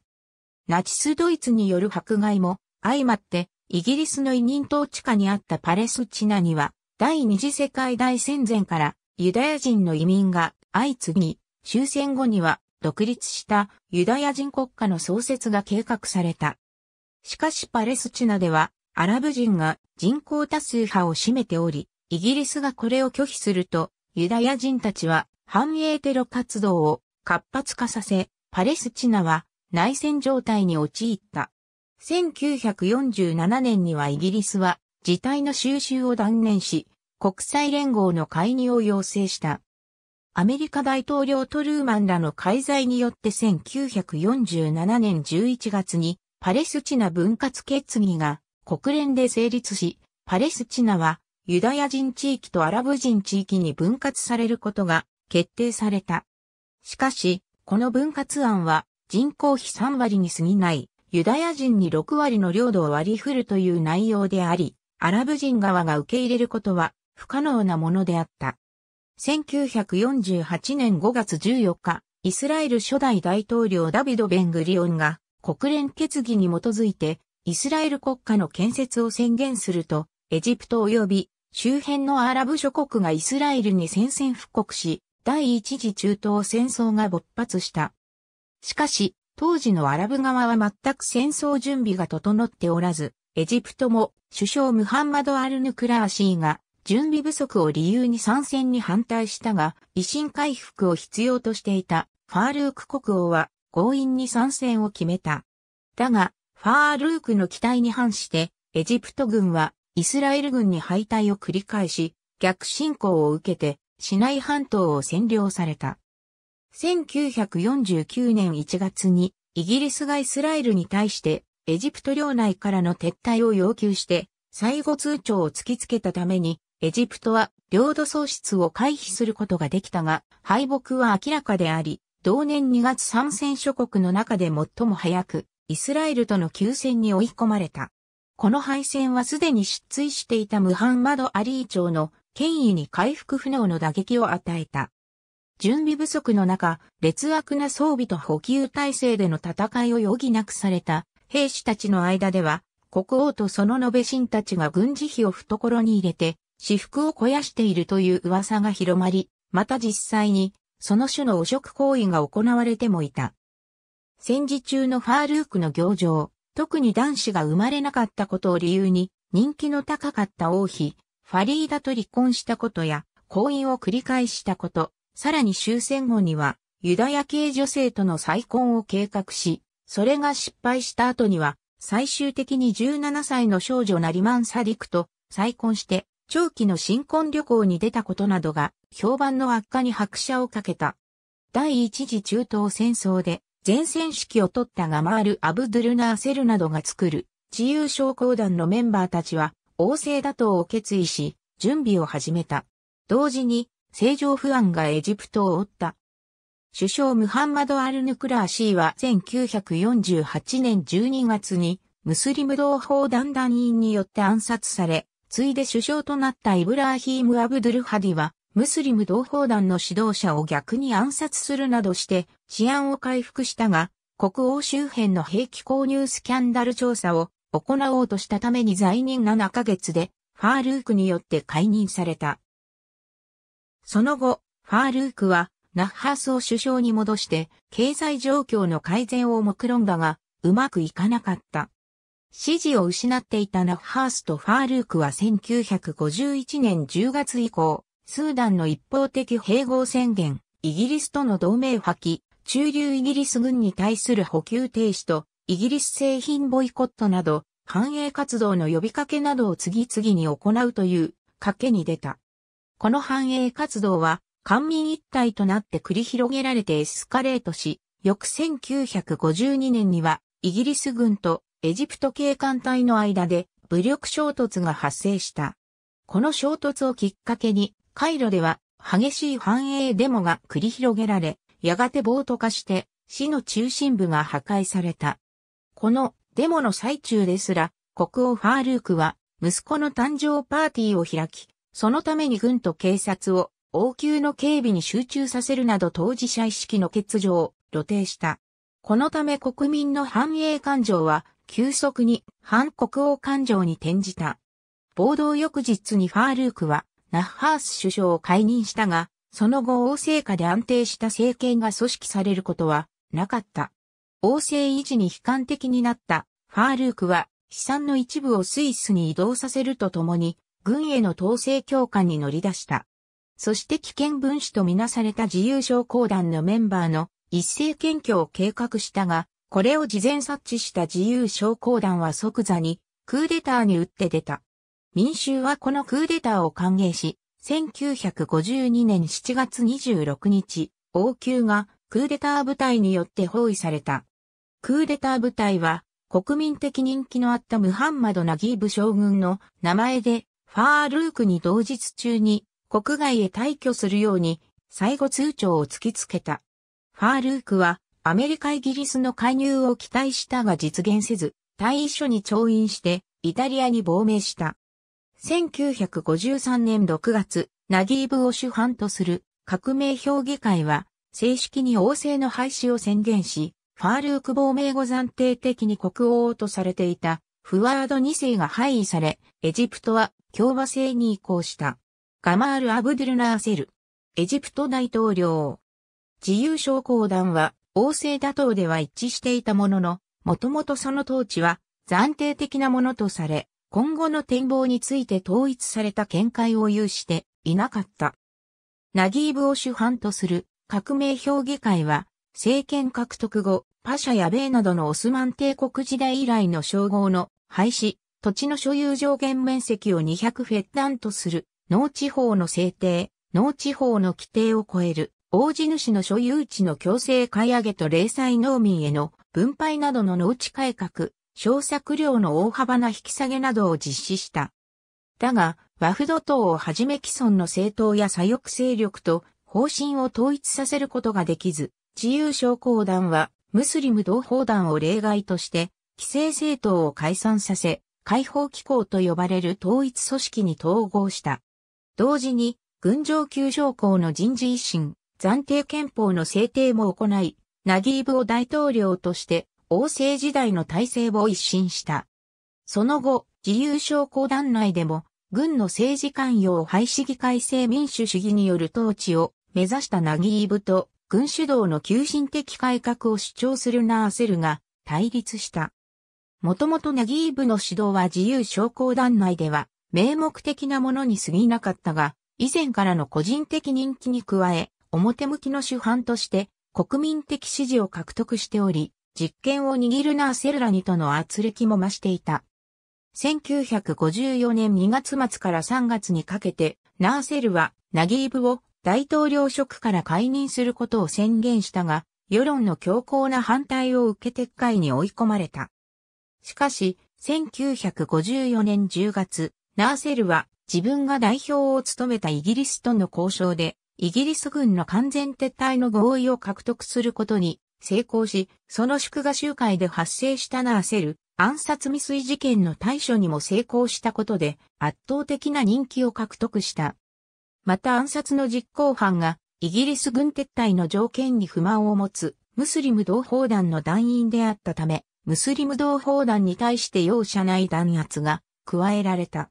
さらにナギーブは暗殺事件に関与したとして大統領職を追われ自宅軟禁下に置かれた。こうしてナーセル主導権を握り、1956年6月の国民投票によって99.9%の支持を受けたとしてナーセルが大統領に就任した。当時の世界情勢はすでにアメリカを中心とする西側諸国とソビエト連邦を中心とする東側諸国の冷戦構造化にあった。アメリカ・イギリスは大祖封じ込めの一環として1955年にイギリス、トルコ、パキスタン、イラン、そしてイラクによる集団防衛体制を組織した。ナーセルはこれをヨーロッパによる中東、アラブ世界に対する新たな帝国主義体制とみなし、アラブ諸国中から最初に参加を表明したイラクに対し強い批判を展開した。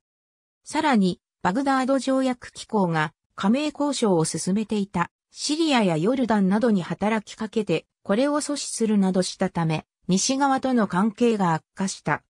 同時期にエジプトとアメリカの関係悪化につけ込んだイスラエルがエジプトに武力攻撃と破壊活動を行い、1955年にはガザで大きな打撃を受けた。このため国防体制の強化、軍事力増強が急務となったが、アメリカからの武器支援を得られる見込みが立たなかったため、ナーセルは独自の道を模索した。大統領就任に先立つ1955年、バンドン会議に出席して、新興国のリーダーとしての存在を誇示するとともに、東側のチェコスロバキアからの武器購入に合意し、中華人民共和国を承認した。これに反発したアメリカは、エジプトが建設を進めていたアスワンハイダムの建設資金融資を撤回した。バグダード条約機構の問題、イスラエルとの問題、武器購入、そしてダム建設資金の問題は相互に関連しながら、同時並行的に進んだ。そしてアスワンハイダム建設資金融資停止はアメリカにとってエジプトに対して教訓を垂れる意図で実行されたものであった。第二次中東戦争におけるイスラエル軍の侵攻。これに対し、ナーセルは1956年7月にスエズ運河国有化を宣言し、西側に従属する意図がないことを示した。スエズ運河はこの時も、なお経済的にも、政治的にも、象徴的かつ重要な要衝であった。経済面では当時ヨーロッパで消費される石油の3分の2がこの運河を通過して運ばれており、政治的にはエジプトに残されていた最後の植民地支配の残滓であった。ナーセルはこれを国有化することで、アメリカ・イギリスに挑戦するとともに、年間1億ドルとも試算されたその収益を、アスワンハイダムの建設資金に充てようとした。アラブ諸国の民衆は、ナーセルの決定に開催を叫んだが、西側諸国は大きな衝撃を受け、エジプト資産を凍結した。スエズ運河に直接権利を持っていたのは、イギリスとフランスであった。すでにインドをはじめとした主要な植民地を喪失しつつあったイギリスと同じくインドシナ戦争で苦戦を強いられていたフランスは植民地帝国の凋落を決定的にするものとみて武力介入を検討した。両国では、ナーセルをヒトラーの再来とみなし、スエズ運河問題での妥協はヒトラーに対する融和政策の轍を踏むものという議論が盛んに行われた。エジプトの強大化を脅威とみなすイスラエルがこれに同調した。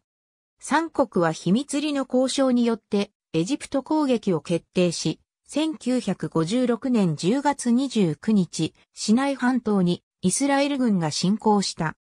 イギリス・フランス両国は、イスラエルとエジプトに対して、即座の戦闘停止を要求し、エジプトがそれに応じなかったという口実で、エジプトへの空爆を開始した。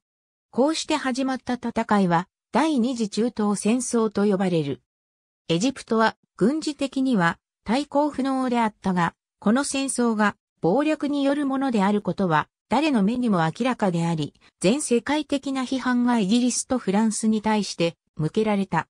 特にこれがアラブ諸国を西側から遠ざけることを懸念したアメリカ大統領、ドワイト・アイゼンハワーが事前通知を得ていなかったことの怒りも手伝い、ソビエト連邦と共にイギリス・フランス・イスラエルに対して撤兵を要求したことは各国に衝撃を与えた。三国は撤退に応じざるを得ず、この動乱は中東におけるイギリス・フランスの植民地帝国の終焉を象徴する事件となった。エジプトは軍事的には大きな打撃を受けたものの政治的勝利を達成し、スエズ運河の回収という成果を得た。これによってナーセルはヨーロッパの大国と戦った英雄としてアラブ諸国の人々に熱狂をもたらした。ナーセルを熱狂的に信奉するナーセル主義者が各国に登場し、アラブ民族主義者と同調して、アラブ統一を目指す動きが活発化していった。アラブ連合共和国の地図。ナーセルの時代は現代エジプトの権威主義的、政治体制の組織的枠組みが完成した時代と評され、ナーセルが採用した政策は、アラブ社会主義とも呼ばれる。解放機構は、大統領を頂点として、労働組合、農協、農民、労働者、村ながら名簿化、さらに官僚機構まで取り込んだ抑散体制を形成し、国政は大統領及び革命評議会の軍人による執行部が決定した。1956年に解放機構は国民連合に解消された。1960年代には社会の大半の公共組織に国民連合の構成員が配置され、主要企業の国有化、情報統制の強化、警察国家化が進み、政治的権利が制限される一方で、公務員の大量採用や生活物資への補助金の増額などを通じて、福祉を提供する権威主義的、社会主義的体制が構築された。第二次中東戦争の勝利によってアラブの英雄として名声を高めたナーセルは現状に不満を持つ各国のアラブ人たちの大きな期待を集め、外交的には、ナーセル政権下のエジプトは中東政治の中心的存在であった。一方で、他のアラブ諸国の首脳部にとって国外から影響力を及ぼすナーセルの存在は脅威であり、イラク・ヨルダン・レバノンなどが鋭く、エジプトと対立するとともに、その他の国々でも、アラブの統一を志すアラブ民族主義者と、保守主義者やキリスト教と既存の権力者などの勢力の間で紛争が激化した。そして、ナーセルがソ連の影響下にあると判断したアメリカは、反ナーセル的なアラブ諸国への支援を強化し、ナーセルを孤立させることを目論んだ。こうした中、独立感もないシリアで、アラブ民族主義の理念のもと、エジプトとの国家統合を求める世論が盛り上がった。シリアは独立の経緯から極めて人工的な国境線を持つ国家であり、国家を統合する求心力が弱かったこともこの世論を助長した。シリア政府は連邦制による統合を希望したが、不安定なシリア政府を抱え込んだままの政権運営を不可能と考えたナーセルは、当初国家統合に否定的であった。しかしバーストを指導下のシリア政府が全面的に譲歩し、エジプトとの完全統合に合意すると、両国の統合が実現し、1958年2月1日、アラブ連合共和国が建国された。同年3月にはイエメンもこれに参加した。この国家合同は周辺諸国に多大な影響を与え、特にシリアと歴史的に関係の深いレバノンでは、アラブ連合共和国への参加を求めるアラブ、民族主義者とキリスト教徒などとの間で内戦状態となった。イラクでも1958年にクーデターが勃発し、王政が廃止された。イラクのアラブ連合共和国への参加が一時議題に上がったものの、政治的リスクが高いと判断したナーセルが消極的であったことや、イラク革命指導部とナーセルが対立したこともあって、これは実現しなかった。それでも、この時期はおおむねナー、セルとアラブ民族主義の絶頂期であったが、統合された各国の歴史的な一体性の欠如や、社会風土の相違は大きく、準備期間の不足もあって、アラブ連合共和国の運営は困難を極めた。第三次中東戦争におけるイスラエルの占領地。ナーセルによるシリア統治は実質的にエジプトによるシリア支配に他ならず、農地改革や主要企業の国有化といったエジプトと同様の政策は地主層から都市の中小商工業者に至るまで広範な反発を受けた。主要企業国有化が発表された1961年7月からわずか2ヶ月後、シリア軍の一部が反乱を起こし、シリアの首都ダマスカスを占領した。その後軍全体がこれに同調して、新政権を打ち立て、1961年9月29日にアラブ連合共和国からの離脱を宣言した。イエメンも間もなく離脱し、その後内戦に突入した。ナーセルはイエメンの親エジプト派を支援して軍を送ったが、エジプトのベトナムと形容されるほど泥沼化し、5年に渡る派兵によってイスラエルとの戦争を凌駕する損害を出すに至った。ナーセルの社会主義政策はエジプトの経済においても成功しているとは言えず、農地改革はむしろ農業生産性を低下させ、企業の国有化は外国からの投資を遠ざける結果となり、イエメンでの戦費負担も加わって国民所得は減少した。こうして緩やかに進展していたな。セルの指導力とアラブ民族主義の衰退は、1967年の第三次中東戦争によって一挙に進んだ。1967年5月、ナーセルはイスラエルとシリアの武力衝突に関連して第二次中東戦争以来シナイ半島に駐留していた国連監視軍の撤退を要求するとともに、イスラエル国境に大軍を展開し、ティラン海峡を封鎖した。これに対しイスラエルは1967年6月5日、起戦を制してエジプト軍を攻撃し、6日間のうちにシナイ半島全域を占領した。エジプト軍は戦力の8割を喪失する艦隊を喫し、同時に破られたシリア・ヨルダンと共に停戦に応じた。第三次中東戦争の敗北は、ナーセルの権威とアラブ民族主義に決定的な打撃を与え、エジプトの政策転換を迫った。ナーセルは東西冷戦から距離を置こうとしていたが、軍の再建が急務となり、ソ連に大きく依存することになった。また、イエメンへの軍事介入は終了し、アラブ諸国の保守勢力との対立は解消に向かった。ただし、アラブの英雄としてのナーセルの立ち位置は損なわれた。ものの、彼はその後もアラブ諸国の重要な指導者の一人であり続け、第三次中東戦争の失地回復を目指しての政治的、軍事的な解決を模索し続けるとともに、1970年9月には、ヨルダンとパレスチナ解放機構間の武力紛争を調停し停戦合意を引き出すなどの業績を残した。この停戦合意の翌日、ナーセルは心臓発作によって死亡した。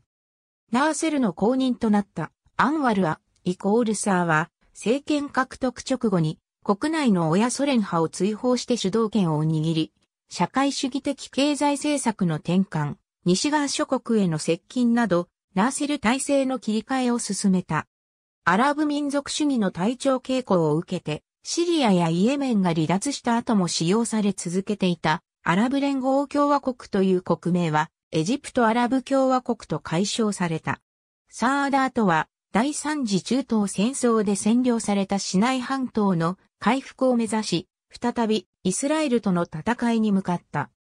1973年10月、シリア軍と示し合わせてイスラエルに攻撃を開始し、停戦ラインとなっていたスエズ運河を溶かして、イスラエル軍に大きな打撃を与えた。さらに、中東各国の支援を取り付けることに成功し、とりわけ、ペルシア湾岸の産油国はイスラエルを支持する国への石油輸出を停止する処置を取ったことで各国の経済に大きな影響を与えた。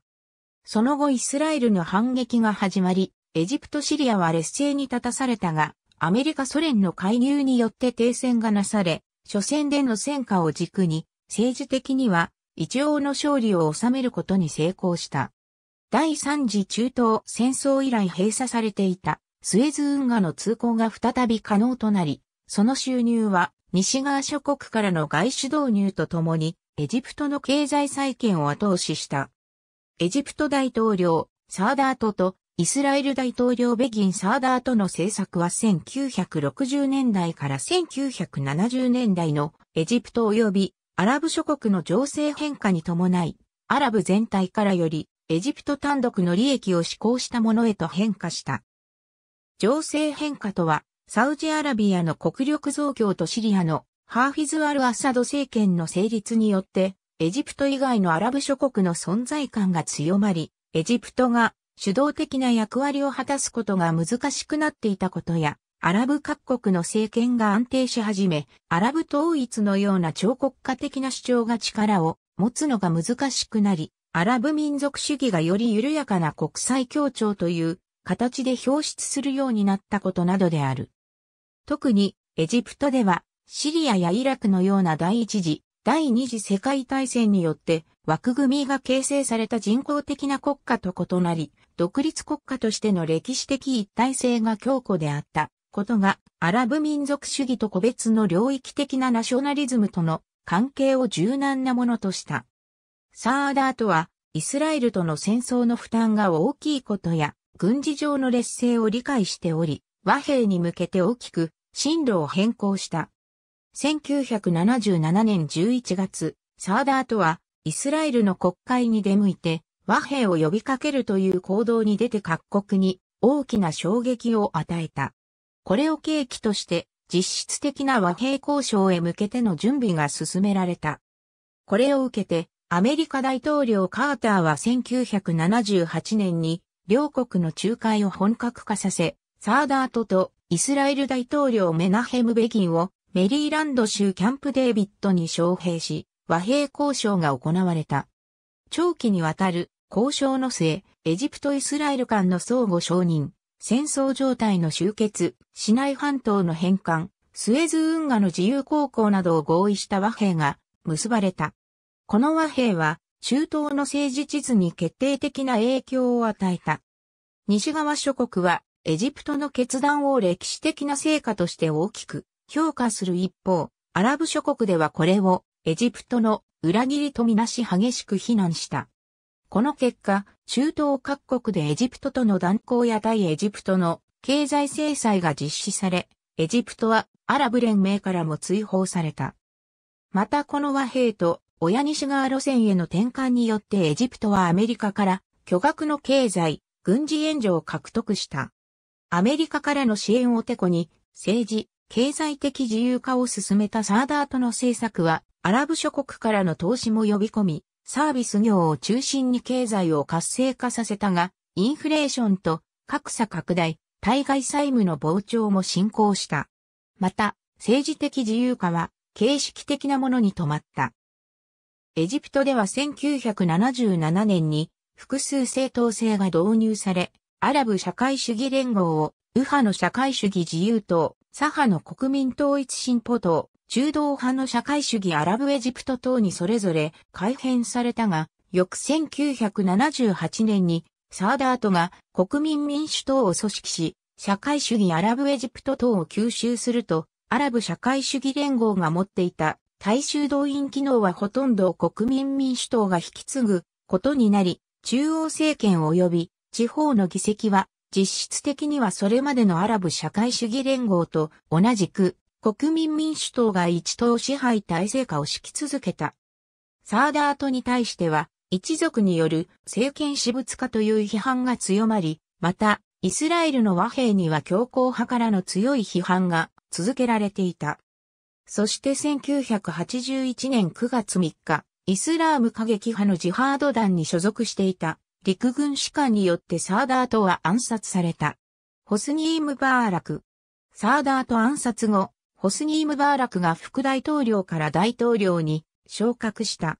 ムバーラクはサーダートの政策を継承し、対米協調路線を継続するとともに、破綻したアラブ諸国との関係回復を積極的に進めた。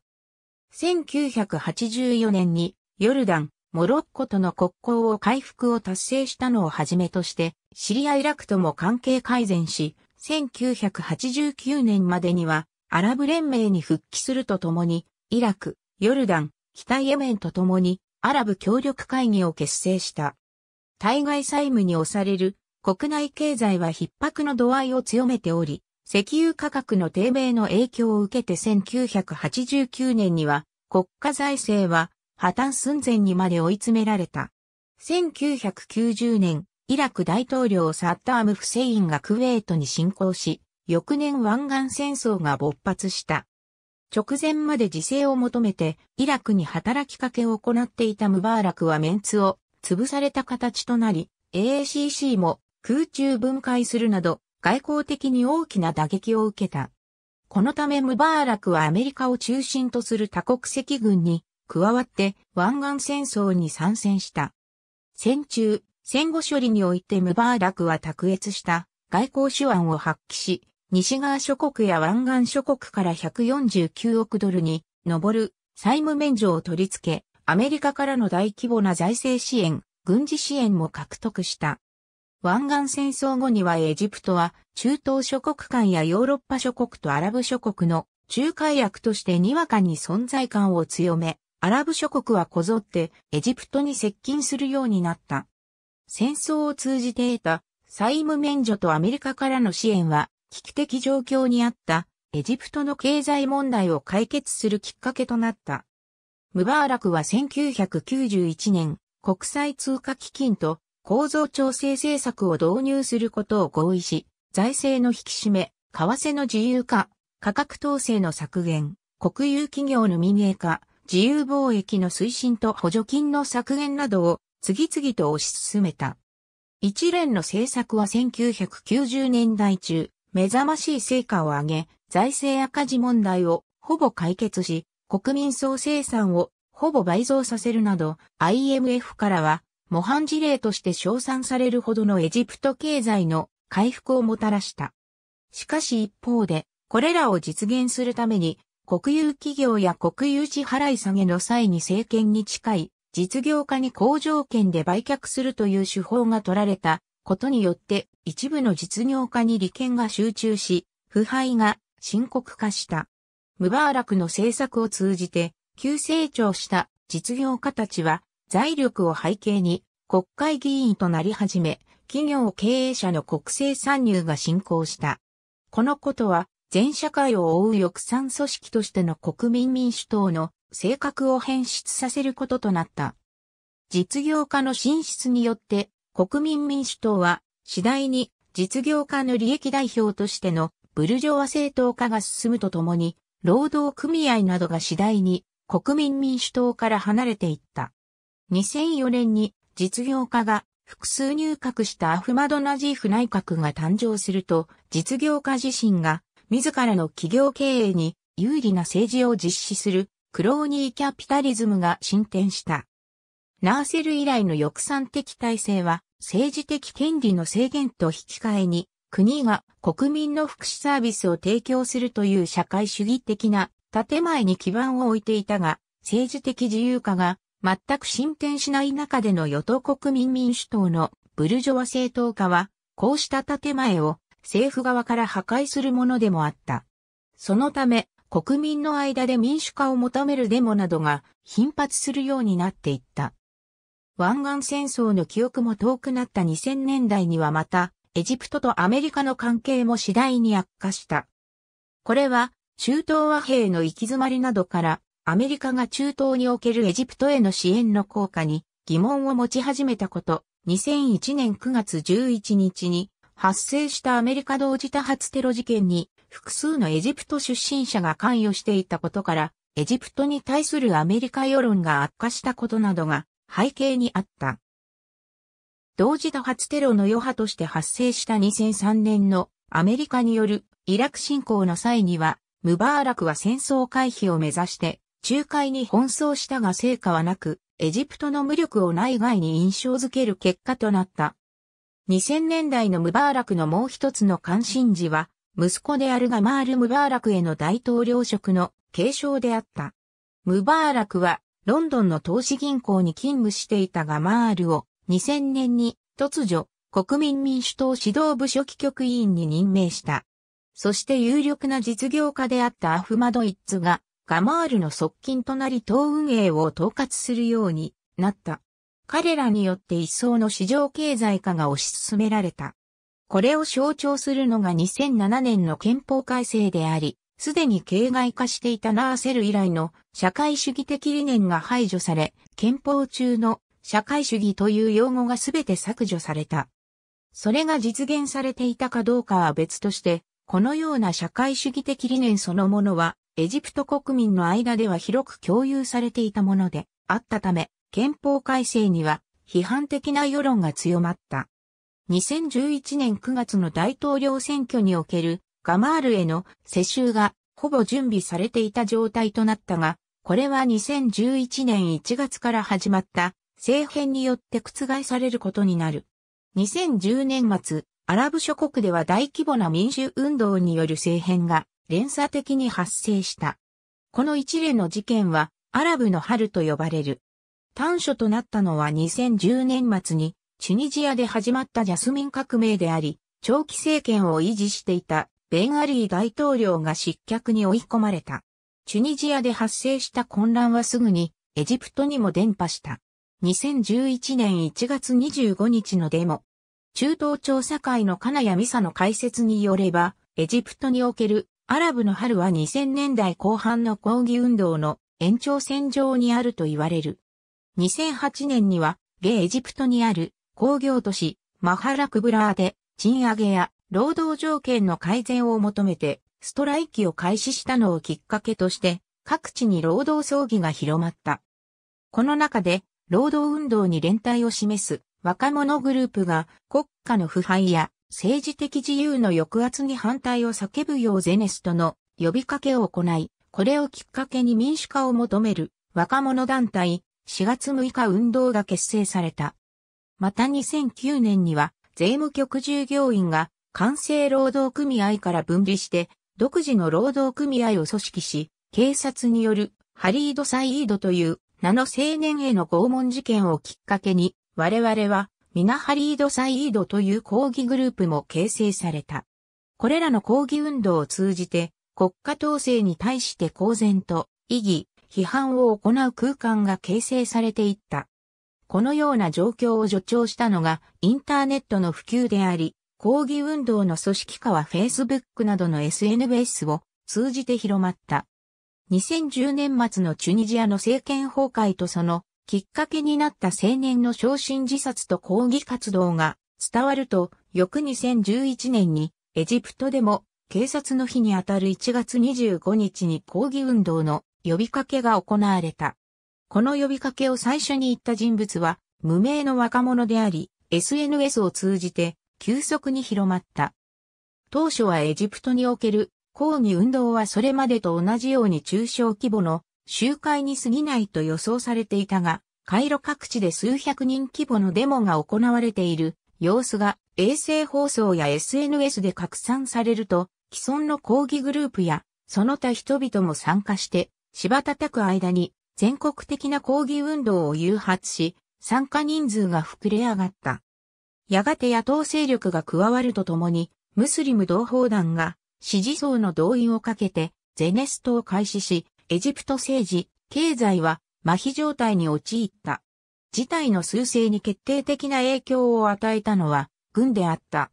1月25日に抗議活動が始まった際、当初ムバーラクは警察に鎮圧を命じていた。だが、警察の統制力では対処不能の事態であることが判明すると軍に出動を命じた。だが軍は鎮圧行動を取らず、1月31日には軍報道官が、軍は民衆に武力行使を行わないと述べた。2月1日にはムバーラクは、次期大統領選挙への不出馬と、息子ガマールへの大統領職継承を断念することを宣言した。そして2011年2月11日、ムバーラクが大統領を辞任することが発表された。それまでに846名の死者と6400人以上の重軽傷者を出した。この間の軍の行動はクーデターに類するものとみなされるが、軍がなぜ、またどの段階で、ムバーラクを見限ったのかは明らかではない。カイロ、タハリール広場のデモ。2011年2月8日。ムバーラク体制の打倒のために一斉に行動した各派は、その後、紛争、弱体化、影響力の低下の中で多くが分散無償していった。ムバーラク政権崩壊後、軍最高評議会がエジプトを暫定統治することになったが、若者グループは暫定統治の早期終了と民主化移行を求めて抗議運動を継続した。その後、ムスリム同胞団が軍最高評議会に政治参加を要求し、ムスリム同胞団員のムハンマド・ムルスイを大統領とする政権が発足したが、ムスリム同胞団のイスラーム主義的政策やイスラーム過激派との関係に批判が巻き起こり、度重なる衝突が発生した。反ムルスイ派の若者グループは、ムルスイの辞任を求める、タマルド運動を結成した。2013年6月30日、タマルド運動の抗議デモが、カイロの市街を埋め尽くし、軍がこれに指示を与えて、クーデターを起こしたことで、ムルスイーは辞任に追い込まれた。しかし、軍の影響下にある暫定政権がムスリム同胞団の徹底弾圧を開始し、タマルド運動がそれを支持する方向に向かうと、タマルド運動で内部分裂が始まり、これを批判する4月6日運動など、別の若者グループとの間でも対立が始まった。結局タマルド運動は空中分解し、さらに暫定大統領アドリー・マンスールを挟んで2014年にアブドルファッターフ・アッ=スィースィーが大統領となると4月6日運動も弾圧され、非合法化された。一方で政権側を支持する道を選んだ若者グループは概ね再び翼賛的体制を形成して政府に取り込まれる形となり、独自の政治勢力を形成するに至らなかった。エジプトにおけるアラブの春の波及と革命の勃発について、その原因や結果についての評価は定まっていない。エジプト革命の原因として、貧困、貧富の格差、社会的不公正、欧米諸国の動向、インターネットなど新たなメディアの普及、人口動静など様々な要因が研究者たちやジャーナリズムによって挙げられている。アラブの春はチュニジアにおいては民主化、シリアにおいては内戦など、それぞれの国に異なる影響を与えているが、エジプトにおいては一連の混乱を経て、大統領となったスイースイが再びナーセル以来の権威主義的体制を構築したと評されている。革命とクーデターに参与した多くの派閥が明確な政治組織の形成に失敗したことに加え、この混乱が経済を混乱させ生活を圧迫したために抗議運動への国民的支持が尻すぼみになったことがエジプトにおけるアラブの春の帰結をもたらしたとも考えられる。2019年11月現在、エジプトではスイースイ政権が継続している。ありがとうございます。